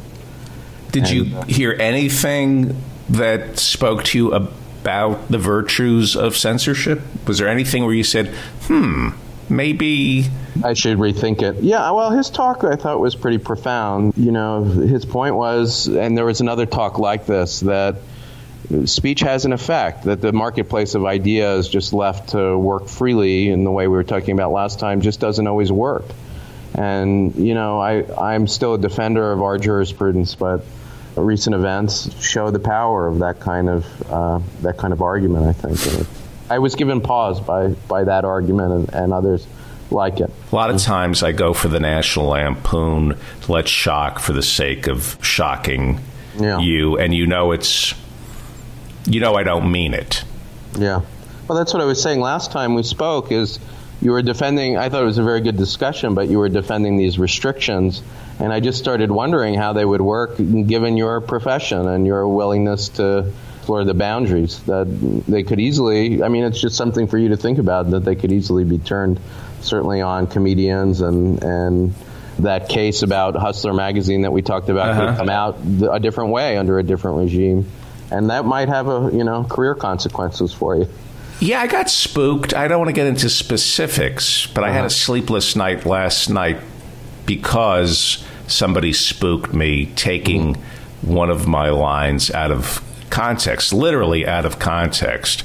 Certainly, as a matter of censorship, I think if you put restrictions on viewpoint or on content when it comes to comedy, that there's a danger that you restrict, you know, good stuff coming out or comedy that's meant to enlighten rather than to harm. Now, there is another example of that that really does push the boundaries, and it's this comedian in France, you know, who is a um, racist and has this sort of racist salute, and it really doesn't, to me, from what I have seen, seem defensible. Or Charlie Hebdo, actually, in some of those cartoons, I don't think that they're defensible what what the cartoons are doing, and I know that they claim to be attacking religion generally, but they tend to focus on Islam in a way that makes me feel like mm, yeah skeptical about that claim. But I don't think Charlie Hebdo or this comedian that you know has been subject to potential hate crimes prosecutions that you know they should be imprisoned. Basically, I think that finding something offensive certainly isn't a good way to regulate. And uh, even if it goes beyond offense, that it really attacks kind of core values of equality under law, not not in order to enlighten, but in order to punch down.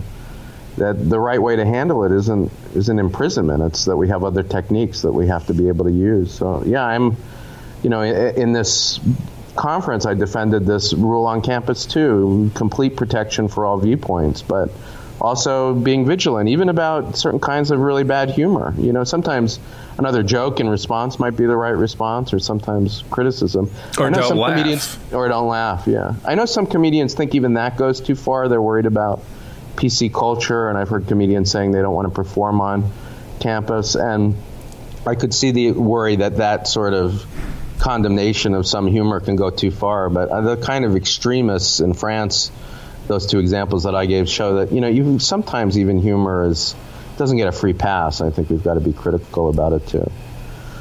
And making jokes about a person who isn't famous. I'm not going, I'm not asking for. This was week one. Yeah, I know. But making jokes about somebody who isn't famous Yeah. is unacceptable, even if you take to Facebook or Twitter. So if you start attacking somebody on Yeah. Facebook and Twitter who isn't famous, they can then come after you for is it slander if it's written If you're or lying libel? about them, yeah. I mean, we were talking one of our sessions about that case involving Hustler magazine and the cartoon depicting a preacher as a drunkard, even though you know he wasn't, and the question of whether or not that was grounds for suing under the libel laws. Or libel is written, so I guess Facebook would could be potential libel case. And there's protection in lying about public figures in a way there isn't about private figures. So. Are you a public figure if you take to Facebook? Yeah, it's, you know, that's like the Andy Warhol question, right? I mean, now we are all mm-hmm. famous for 15 minutes, maybe 15 minutes a week or something.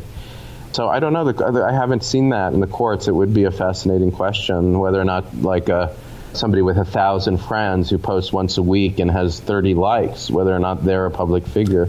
Now, some people on Facebook have five friends and zero likes, so I, I think they wouldn't be. But that that other case might be a good one.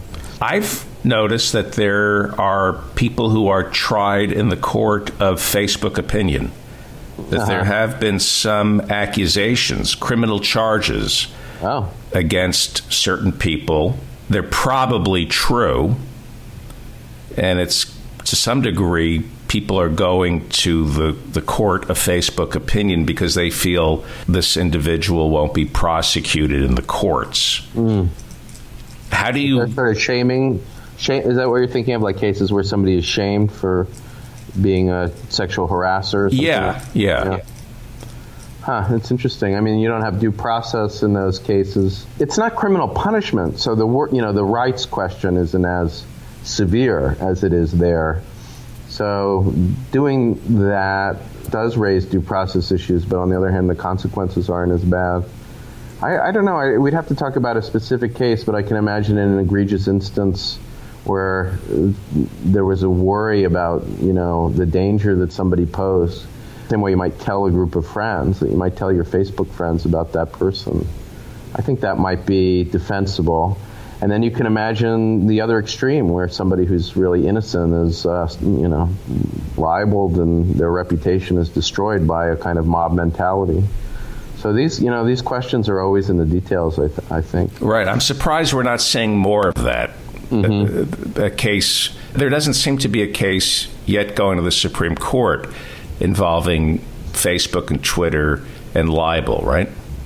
There have been certainly some Facebook cases. I'm just trying to remember what the most recent one was. Yeah, I, would have to look, but that, that could be something that I could look into for next. Right. I mean, it just seems it seems that and I, I always have this who cares attitude. Mm. I always say where there's smoke, there's fire. If you if somebody's making an accusation, there's probably some truth to it. You probably did something that you shouldn't have done. And then I always go to better a few men go to prison than right than, than a couple of innocent guys walk free.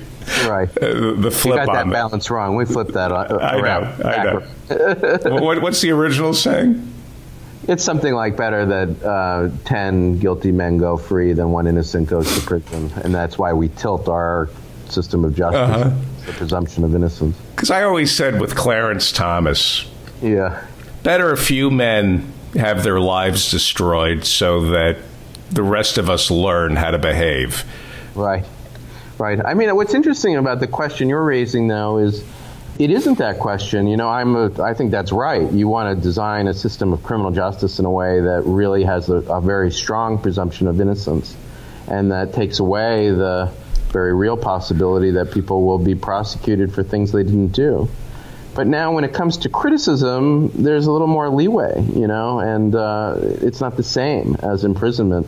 Now, that isn't a free pass. John Stuart Mill worried about punishments, social punishments like shaming, because he thought they could have the same kind of punitive impact of social isolation that criminal punishment would. But it's certainly on a scale, I think, less awful than having your liberty deprived. And there might be more leeway for, you know, not, not exactly that 10 to 1 formula that we think of in, in criminal justice. There's a special election yesterday in Montana. Right. And a Republican candidate, Greg, I don't know if I'm pronouncing this right, Greg Gianforte, they say he reportedly body slammed a reporter for The Guardian, Ben Jacobs. But if you listen to the audio, it's probably worse than a body slam. It sounded as though he was punching the reporter.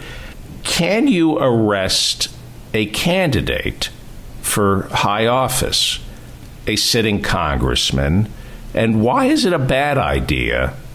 What did our founding fathers think about arresting Congress people and candidates? Maybe there's an argument to the contrary, but I think that's an easy case that just because you hold an office, it doesn't make you immune from the law. So if you violate, as this, I listened to the audio too, it seemed like a clear assault, basically allegedly, I guess. I don't know the full facts because I wasn't there, but listening to the video, uh, sorry, the audio. And if that was, if it turns out that this was just a straightforward assault, the fact that he's running for office doesn't immunize him in any way. And, you know, there's no reason why he couldn't be criminally prosecuted. And the same is true even if he was a sitting congressman. There are some protections. There's something called the speech and debate clause that protects uh, at a pretty high level what's said in parliamentary debate, for instance, by sitting congresspeople. But they're not in any way immunized, and neither is the president, by the way, from criminal law.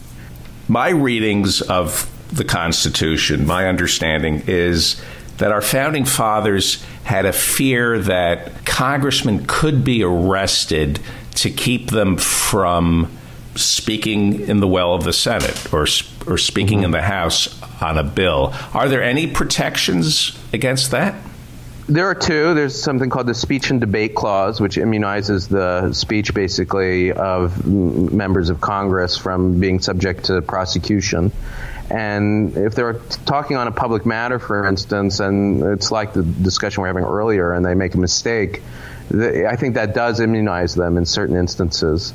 There's also this strange, which this congressman maybe had read and misinterpreted to think it applied to him, this clause of the uh, Article 1, Section 6 that says the senators and representatives shall in all cases except treason, felony, and breach of the peace be privileged from arrest during their attendance at the, at the sessions of their respective houses and in going to and from the same. But the courts, my understanding, have just narrowed that clause so that it actually doesn't immunize congressmen from being arrested for, say, assault. And certainly it doesn't immunize, even in the plain language, a candidate for office. So there is this sort of worry, I think, about, you know, political arrest and, and prosecution. But at least in our system now, the rule of law takes uh, precedence. I don't know if there's anything left from that clause, but certainly it doesn't immunize a congressman from being prosecuted for a crime. A political arrest could be a president arresting a senator or a congressman, which you can't do as president, but you do have a Justice Department and an FBI. Can the FBI arrest somebody? I mean, if you, yeah, if you commit a crime, you can be arrested. Now, I mean, what were they trying to get at? I guess that you know, think of the crime of sedition, of speaking out against the president. Now, under our, our, current First Amendment law, you have a right to criticize the president, but imagine some interpretation of the First Amendment that allowed congressmen to be arrested for criticizing a president. I mean, these are all hypothetical, but I wonder if that would be a way of resurrecting the the clause. But you know, in normal criminal prosecution, where there's not a, any of these issues, they're not at stake. There, there is no longer and not a, an immunity from from prosecution. This congressperson, well, candidate for office, sorry. Uh, you know, he's out of luck, I think, as far as the law law is concerned. Worst case scenario: I'm the president of the United States. I have a flunky as my attorney general. I have a flunky as the head of the FBI. The FBI could arrest people. Yeah. I, as president, can't order somebody to be arrested, but I can instruct secretly the FBI to arrest somebody. Right. Well, I mean, you know, the the whole issue in the current controversy over firing the FBI director is whether or not the president was acting in an improper way to, in that case, impede an investigation. Now, a president should not, under any circumstance, be dictating to law enforcement who to arrest or not for political reasons. That's not their prerogative. It's supposed to be an independent decision. Now, you know, some people have focused on whether or not the president would have been breaking the law in impeding an investigation in the sense that he could be subject to criminal prosecution. And I think that's a pretty interesting issue, but the question of impeachment is not that. The question is whether he was doing something that really impeded him from the kind of independence that he's obligated to as a, as the president of the United States. So even if his action towards Comey wasn't a criminal violation, it could have been the kind of high crimes and misdemeanors, political crime, you might call it, that the founders were, were focused on. This isn't a legal issue, impeachment. It's one that involves a, a, political decision about the fitness for office and how severe a violation uh, took place. It's a political decision, not a criminal yes. decision. It's Correct. not even a constitutional decision. It's a decision that the House and the Senate have been authorized by the Constitution to make. And there's a standard, high crimes and misdemeanors, but no, that shouldn't be understood as you know the, a felony or some criminal violation. It's a distinct, distinct thing. There's a terrific article by a colleague of mine named Keith Whittington in the Washington Post that discusses this, and I highly recommend it. Okay. Uh, and this is an expert on the history of impeachment, and that's his argument that I fully endorse. You know, we shouldn't view the oath as just mandating uh, obedience to the law in the narrow sense the oath obligates the president to the role and the constitutionally delegated role of president. And he's violating that role if he tells uh, the FBI director to stop investigating him. I turn on MSNBC and it's we got him today. We got him. Yeah, he's he's going to prison and they're going to give him the chair and uh-huh. that's how it's being presented to us is smoking gun. We got him. And what you're saying, this is not going to be a criminal prosecution. It's going to be a negotiation. It's going to be the Republicans deciding whether or not he's politically viable. That's the only way he's going to be thrown out of office is the Republicans have to decide before the midterms whether or not he's a political liability. That's all this is. It's the well, court it's the court of public opinion. I'd say it's partly that. That just realistically, yes, there is no impeachment without the Repu- some Republicans, not all of them, by the way, but just a small sliver of them to stand up and say this is unacceptable. But what I don't think is right, and I, I want to make sure that my view is distinct from it, is the idea that it's just politics in the sense of, you know, we hate this guy, let's get rid of him. I don't think that there is an obligation of the political branches to use a principle and the principle is it's defined by this phrase high crimes and misdemeanors, but it, what it really means is something like what the 25th Amendment says unable to carry out the Constitution or unwilling or uh, you know deliberately indifferent to the requirements of the Constitution. Now the president is not supposed to be in the business of retaliating against political opponents or in this case impeding investigations against uh, his own wrongdoing. And if he's done that, and that's an if, but if it turns out, then they're obligated, I think, to use impeachment in order to defend the Constitution. That's how it works. So the fact that it's not a trial in a court of law doesn't mean that it's just up to the political branches to do what they want. They also have constitutional obligations. Nobody should body slam a reporter. Right. There are laws against this. However, you bring in the lawyers, you bring in the police, you play that audio tape to us, Greg Gianforte, the guy running for Congress in Montana, who did this, not allegedly. You listen to the audio, it's obvious. But if it gets into a, a courtroom, they're going to say, This reporter provoked me, he threatened me, right. and he won't go to prison. There are things that should be and there are things that are. And if I'm Donald Trump and Steve Bannon and Jared Kushner, I'm going to say just fight, fight, fight, fight, fight. They're not going to impeach me. There are things Trump should be doing, but he doesn't have to. And if he just fights, yeah. there's no way to get rid of him. Maybe. You know, the Republican Party, and I hope that this comes up again, has a long tradition of caring about the Constitution. It's not too long ago that the Tea Party's main thing was, you know, careful reading or a strict reading of the Constitution. And I have to believe that there are some percentage of members of the House of Representatives elected by the Republican Party who still care about the Constitution. And if that's right, and I'm sure it is, they've got to find the strength and the courage to stand up and say, if, and again it's an if, the president was deliberately impeding an investigation of himself by firing the FBI director, then that's an impeachable offense. That's their obligation and it's not about party; it's about this other thing. You know, uh-huh. go back to the Saturday Night Massacre, which keeps coming up.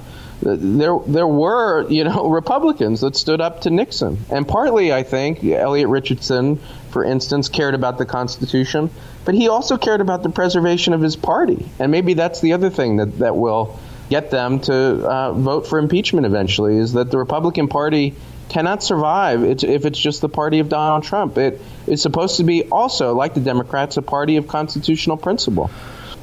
The more I listen to you, the more I realize he ain't going anywhere. I, I, wish you were right. Everything you're saying is right. You stand for the Constitution. I don't think the Tea Party ever stood for the Constitution. They were astroturf. They were set up by the Koch brothers just to challenge Obama wow. and the and the stimulus package. I do another show with a guy called Dan Yorke in New England, and listeners can find the recordings of them on my website, CoreyBrettschneider.com. And you know, it's I think it's fascinating because a lot of his listeners were Tea Party people, and a lot of them were tempted to vote for Trump, and I think a good portion did. But you'll hear on those tapes, you know, I just try to engage them on the level of the Constitution. If I talk to them as a Brown professor or as a Democrat, we're not going to get anywhere. And in fact, that's how the conversations often begin, is with them slamming Dan for having this liberal Brown professor on. But if we just talk about, as you and I often do too, the Constitution, they sometimes can be won over, you know, Mm-hmm. because they, I think there are some percentage of people, including members of the House, who really care about the foundational principles and are not just a Trumpist, you know, nationalist. He does not, I should say. I am absolutely convinced. I don't think there's a question about it that he, he does not care at all or know much about the United States Constitution.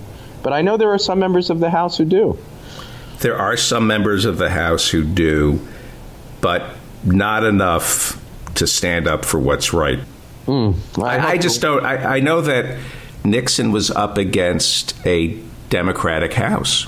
Um, there are circumstances that were different, and you know you would have to win over some percentage of Republicans. But his look, yeah, there is the kind of realpolitik part of Uh-huh. this, and his rating, his approval ratings are tanking.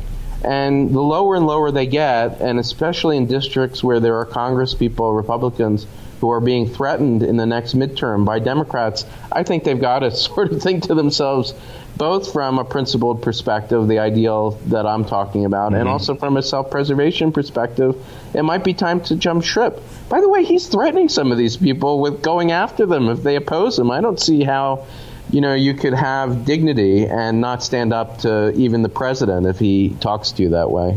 So we just need a sliver of them, and I, you know, assuming again that the investigation goes the way that it that it might, which is that he was impeding this investigation, and and then yeah, they they're obligated to stand up. The FBI is an independent police organization, but they're part of the executive branch. Right, They're not part of the judicial branch.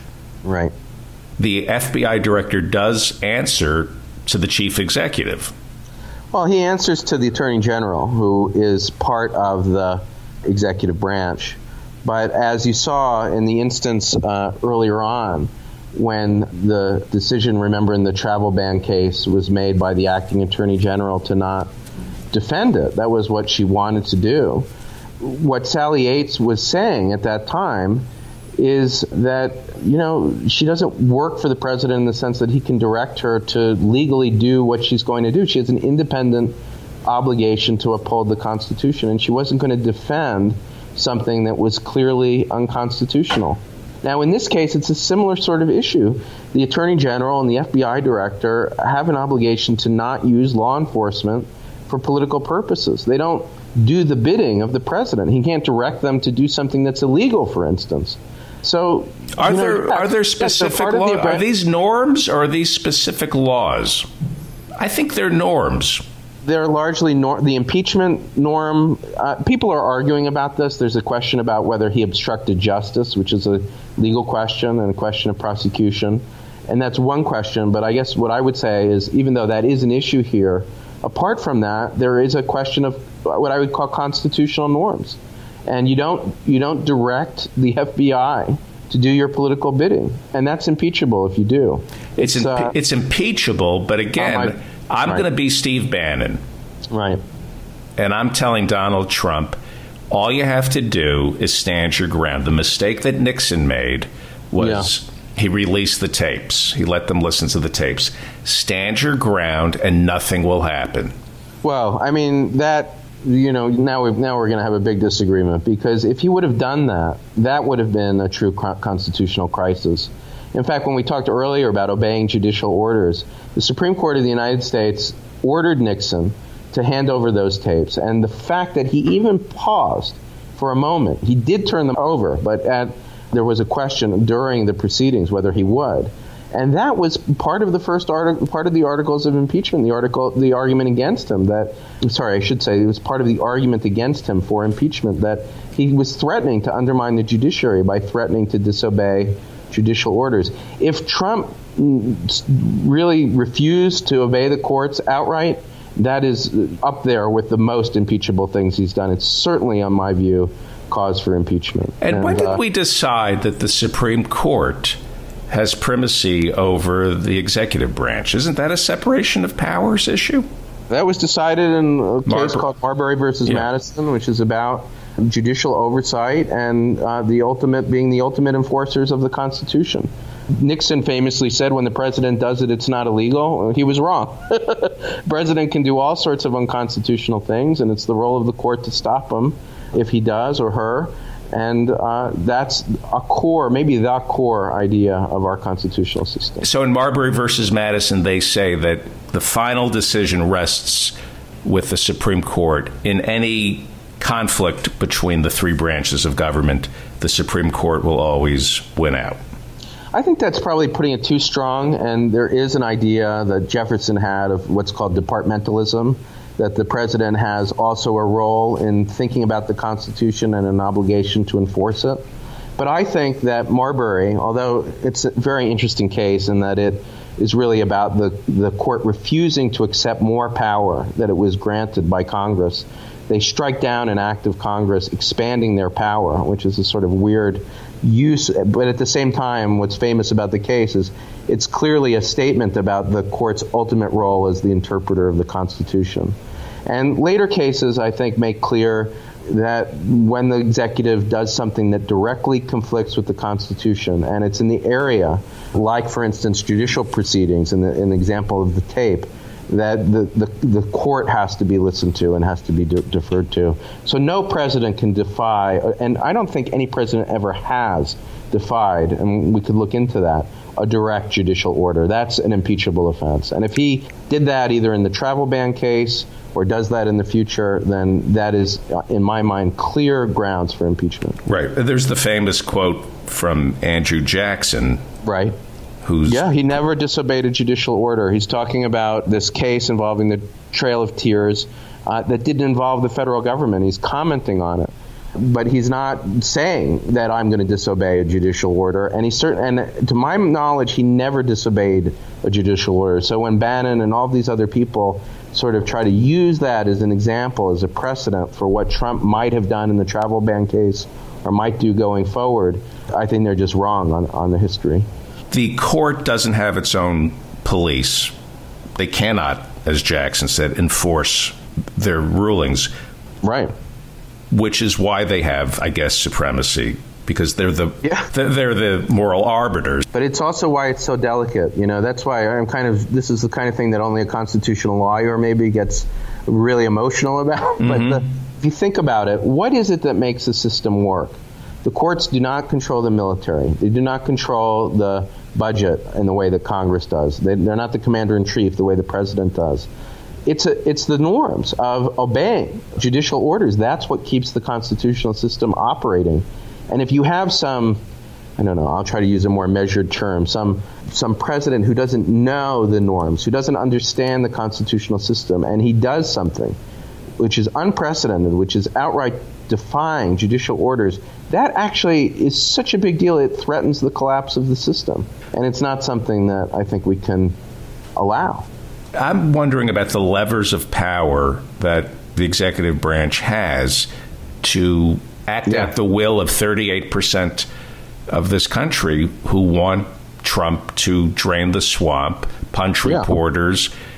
And I'm listening to you and I'm thinking, well, it sounds like the Constitution does give the president all the all the buttons he needs to push for tyranny. It's there. Oh yeah, that's what's so scary. He has been pushed back, but if you think of how, it's by courts, and it's by advisors telling him he better listen. And if there are people pushing him in the other direction, they haven't been listened to. Uh, and the reason why all this matters so much and these first few months have really been a victory for constitutional democracy is because the and the founders like people think they're paranoid about it, but now we know from this example that they're not. That the executive is so powerful that he or she could topple the entire system. They hmm. could become like a dictator or a king. And in fact, if you look at you know constitutional regimes around the world, that sometimes happens. That a, a so-called president becomes a dictator, and that's a real risk here. It has been. I mean, it didn't go that way. The Wall Street Journal has sort of been criticizing people for being uh, overly paranoid about the threat of dictatorship. But the, the fact is that we haven't gone in anywhere close to that direction because people have used the institutions. And the ACLU and others have sued the president and stopped him from doing what he wanted to do. And it's a big, big deal. You know, people might be bored of the details of the travel ban case. We've been talking about it at length. But that is a big deal, not because of the just because of the issue, but because of the separation of powers and the fact that the executive has stopped the president in that area. Talking to you, I, I realize I'm not helping by saying I don't see him being impeached. I don't see Republicans mm. having the fire in their belly or the moral compass to throw him out of office. Listening to you, I truly understand that we're at a point of conflation between politics and law. It's where the two things yeah. come together. And unless the people stand up for the rule of law, we're going to lose it. That was beautifully put. And, you know, what you're saying, I guess, echoes a lot of the sort of way that we're used to talking about politics in this country. That, you know, what are the Republicans going to do? It's the horse race, it's prediction. And that's fine. You know, you have to do that. I don't want to be naive, and that's why I did that with you. But we've also got to think about the principles. And in this case, the stakes are so high that I think impeachment absolutely has to be on the table in order to prevent the possible slide in, in the direction that has not happened, but that there's no reason why, if this president got more popular, more successful, and more emboldened, why he wouldn't necessarily go in that direction. And the wearing down of the public will is yep. what people like Steve Bannon want. Right. In other words, when I say to you, Trump firing Comey is legal, there's nothing we can do about it. Right? I mean, theoretically, you could just keep insisting he's the president. He can do that. That's the executive branch. I do think you know I have to. We we all, not just me, have to think more about this and learn more about the facts. But there is a there are statutes that prevent as criminal statutes that prevent the obstruction of justice. You can't go in. I mean, let me give you just an extreme example. That's not at issue here.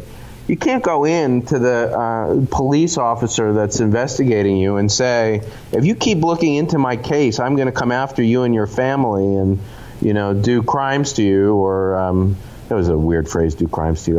I, I like that. Threat, threaten you. I can't, you know, you, you, you, can't threaten somebody who's looking at, you, at to arrest you or to investigate you. And if the president did something like that, then it doesn't matter that he's the president. He can't do that. It's just you can't obstruct a criminal investigation. Now, did that happen here? It's not clear. But even if it didn't, what I'm saying is we have this other concern about mm-hmm. upholding the Constitution. I'm yeah. a senator, I'm a congressman.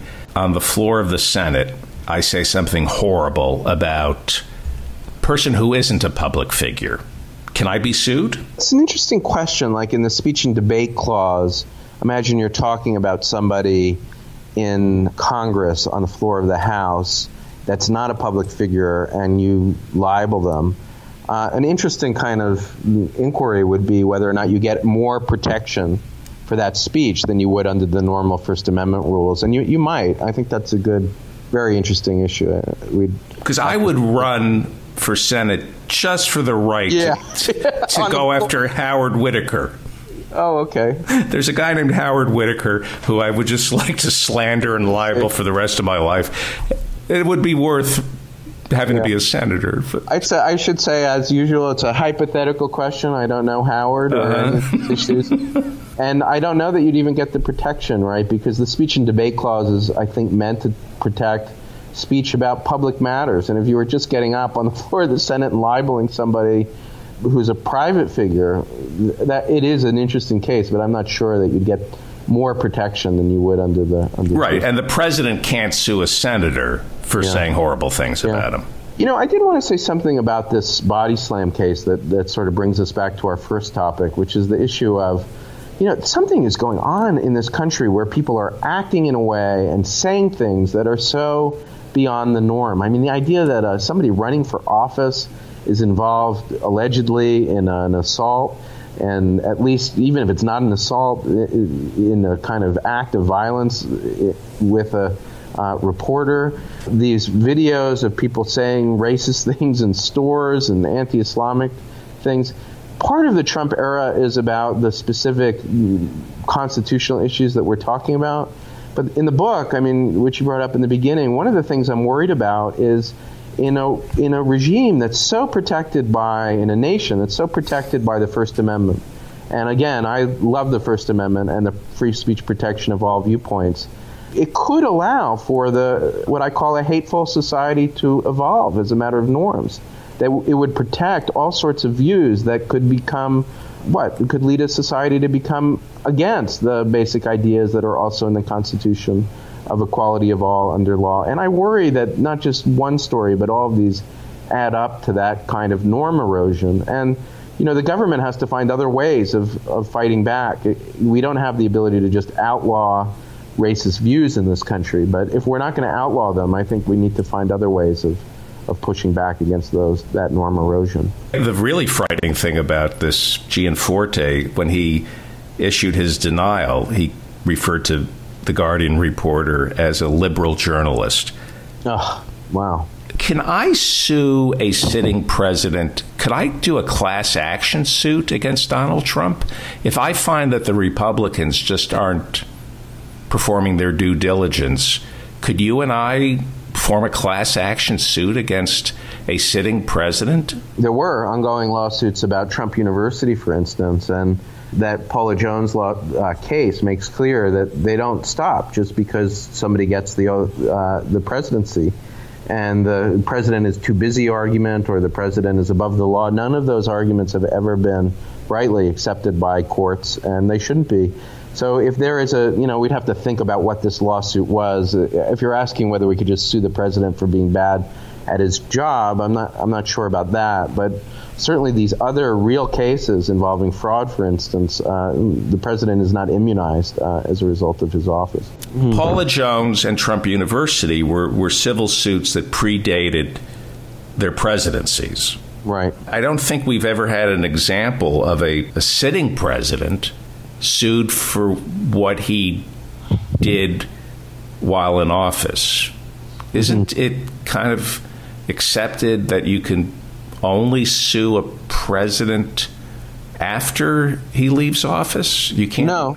And in fact, there is an ongoing suit that's extremely important that we haven't mentioned, I don't think, on this podcast, but that we should spend time talking about involving the emoluments clause. And what the emoluments clause says is that the president can't benefit from foreign governments. And there's a domestic component to that, too.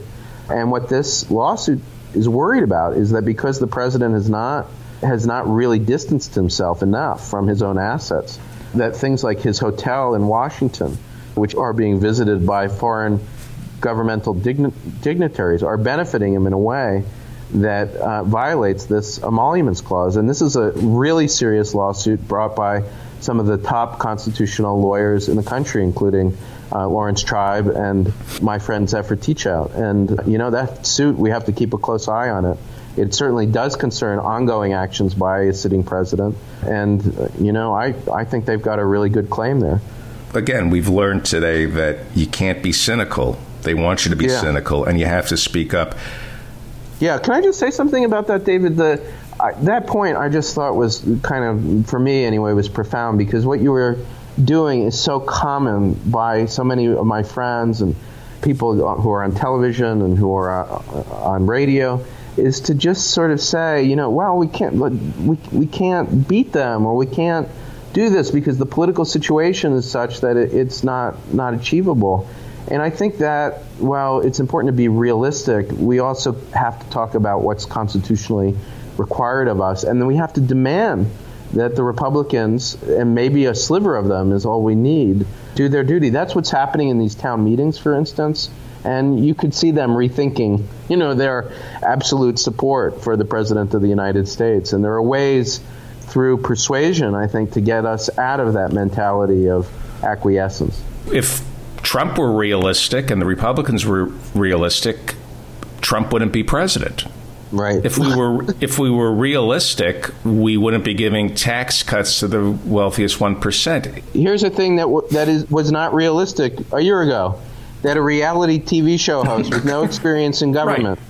who knows absolutely nothing about the basics of our constitutional system, including, as I argued before, I think how a bill becomes a law, is going to become president of the United States. It just seems not realistic. And this guy imagined that it was realistic, and he pushed the boundaries and changed them for the worse. Uh, so we've got to start doing that too, I think, and uh, you know, using our imagination, talking about things that don't seem immediately possible, and imagining the future in, in a kind of broader way. The Supreme Court doesn't have a town hall, but they do take the temperature. Yeah. Certainly on gay marriage, they take the temperature.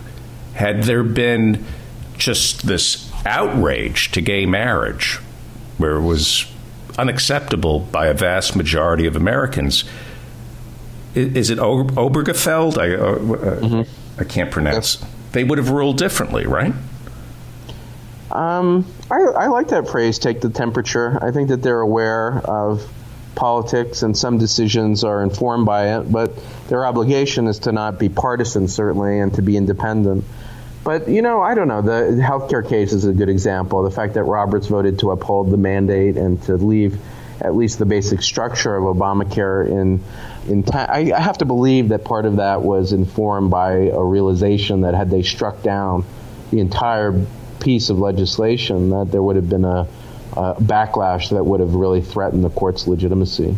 So yeah, Right. the court has to be realistic about the fact that it has to keep its currently pretty high level of support, and that it can do things to undermine its own legitimacy.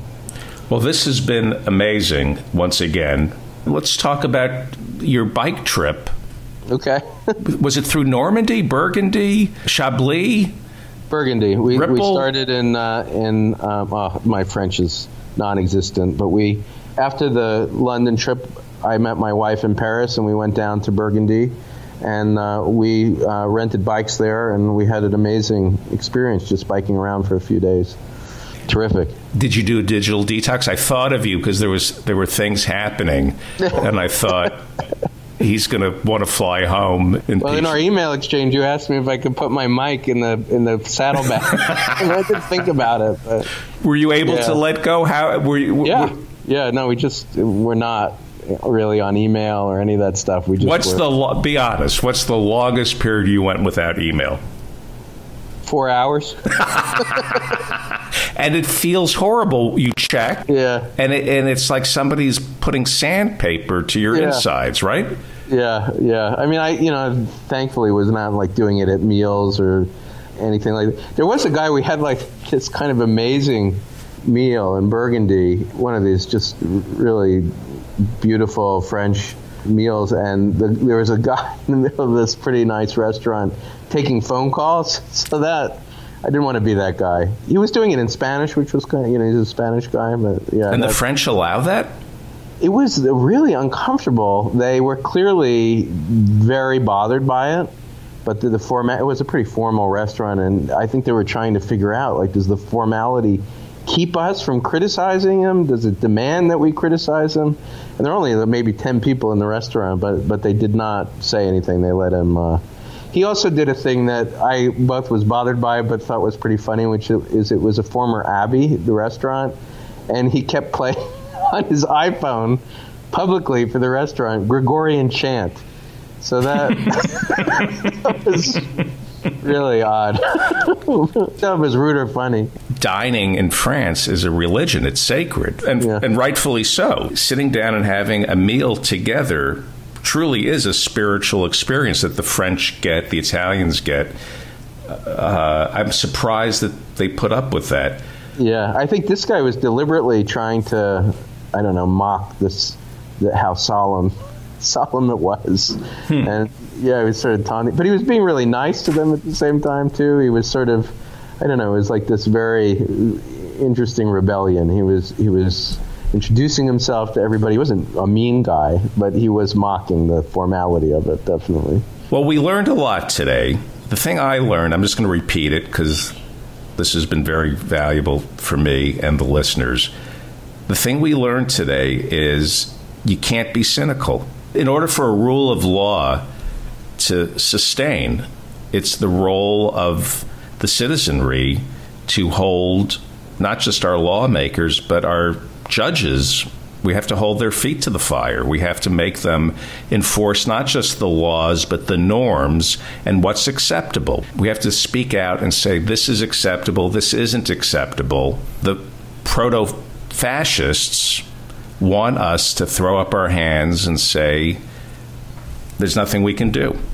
Yeah, well said. And uh, not I really, but I'll take the I'll take the compliment. and I appreciated that exchange. No, you kind of, I mean, in a way, that's what I was trying to resist is the cynicism, and you know, you saw that, and, and I, I really do appreciate what you just said. One of the first people I interviewed on this show was the late Tom Hayden, and for some reason, they don't teach the Port Huron statement. Mm. Uh, would be good for us to talk about at some point. Yeah, and he said to me, "You know, you sound really smart when you're cynical." but mm-hmm. you're not smart, and they want you to think you sound smart when you're being cynical. They want you to be cynical, and I never forgot that. And that's beautiful. Yeah, from an important person, and you know when you watch television, I just really, I mean, I just can't believe the degree to which people are doing this horse race thing. And you know, over the summer when when before I knew you, but when I was doing a lot of this radio show, what I loved about Dan Yorke and still love about him is that he just doesn't do that. He doesn't just sit there and say who's up, who's down. It's such a banal, boring, and unscientific way of talking about politics. Politics is about aspiration, and if mm-hmm. you turn it into this lame horse race thing, I, I, think you just miss what it what it's supposed to be about. And other people have figured it out, by the way. Donald Trump realizes that it's not about what's realistic; it's about what you make possible, and that's why he's unfortunately doing is uh, gotten to the position that he's gotten to. Right. And cynicism is intellectually lazy. It is, yeah. It's Great. A, it's a very lame way to. You'll come back next week. I didn't push of you course. away. I love it. Okay, great. Thank you. I've been pushing. I have so many people in my life I've pushed away. So. not me. No, not at all. I had a sleepless night. I there were a couple of jokes that oh, I've boy. told just for the sake of shock, and I'm thinking I, I need to rein it in. I and I did get my wake up call about the First Amendment. I, have been very glib about censorship uh-huh. But suddenly it applied to me, and I, I thought, hmm. Well, as I've often said, you know, you are in a perilous business. You could offend people, but it's also the case that people are not going to listen to just, uh, you know, academics talking in the abstract. You need people to connect, and humor is in our culture the number one way that people connect. And you know, so it's great this combination of comedy and, and yeah. also extreme seriousness and you know depth about issues. So I, I really again appreciate it. And I want to thank our listeners. I would have done this regardless. it's heavy lifting. The structure of the show is such that I, I put the heavy lifting on near the end. I, I start off light and fluffy and fun. I was pleasantly surprised by the vast number of listeners who enjoy this or asking me to put it on earlier. There are a lot of great listeners who yeah, and I've seen it on you on Facebook and Twitter. And thanks for listening. I appreciate it. Yeah, well, thank you for doing this. And as my mother says every week, you don't deserve him. She's of two people. She said you don't deserve Obama and you don't deserve Professor Corey Brettschneider, author of When the State Speaks. Okay, I'm a huge fan of your mom. Thank you. I'll talk to you next week. See ya.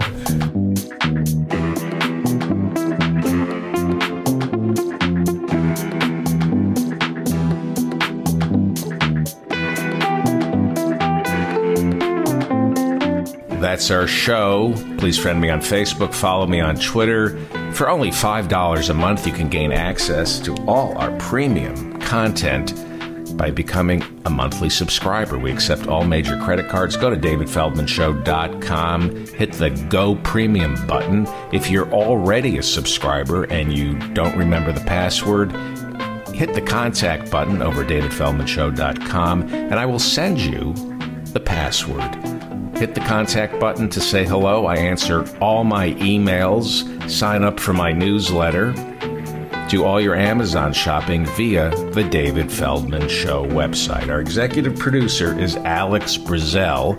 Go see the great Jake Johannsen at Hilarities in Cleveland, June 15th through the 18th. Or if you live in Pittsburgh, go see Jake at the Pittsburgh Improv, June 22nd through the 25th. His podcast is Jake This.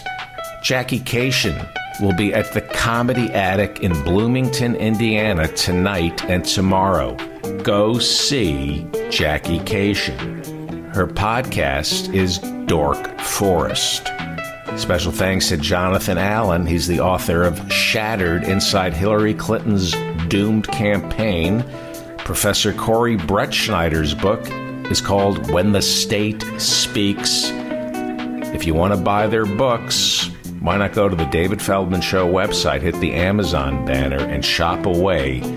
Doesn't cost you any more. We get a small cut of everything you purchase on Amazon. I want to thank all my friends who got me through this week. You know who you are, and I love you. I love all my friends for giving me their support and giving me courage.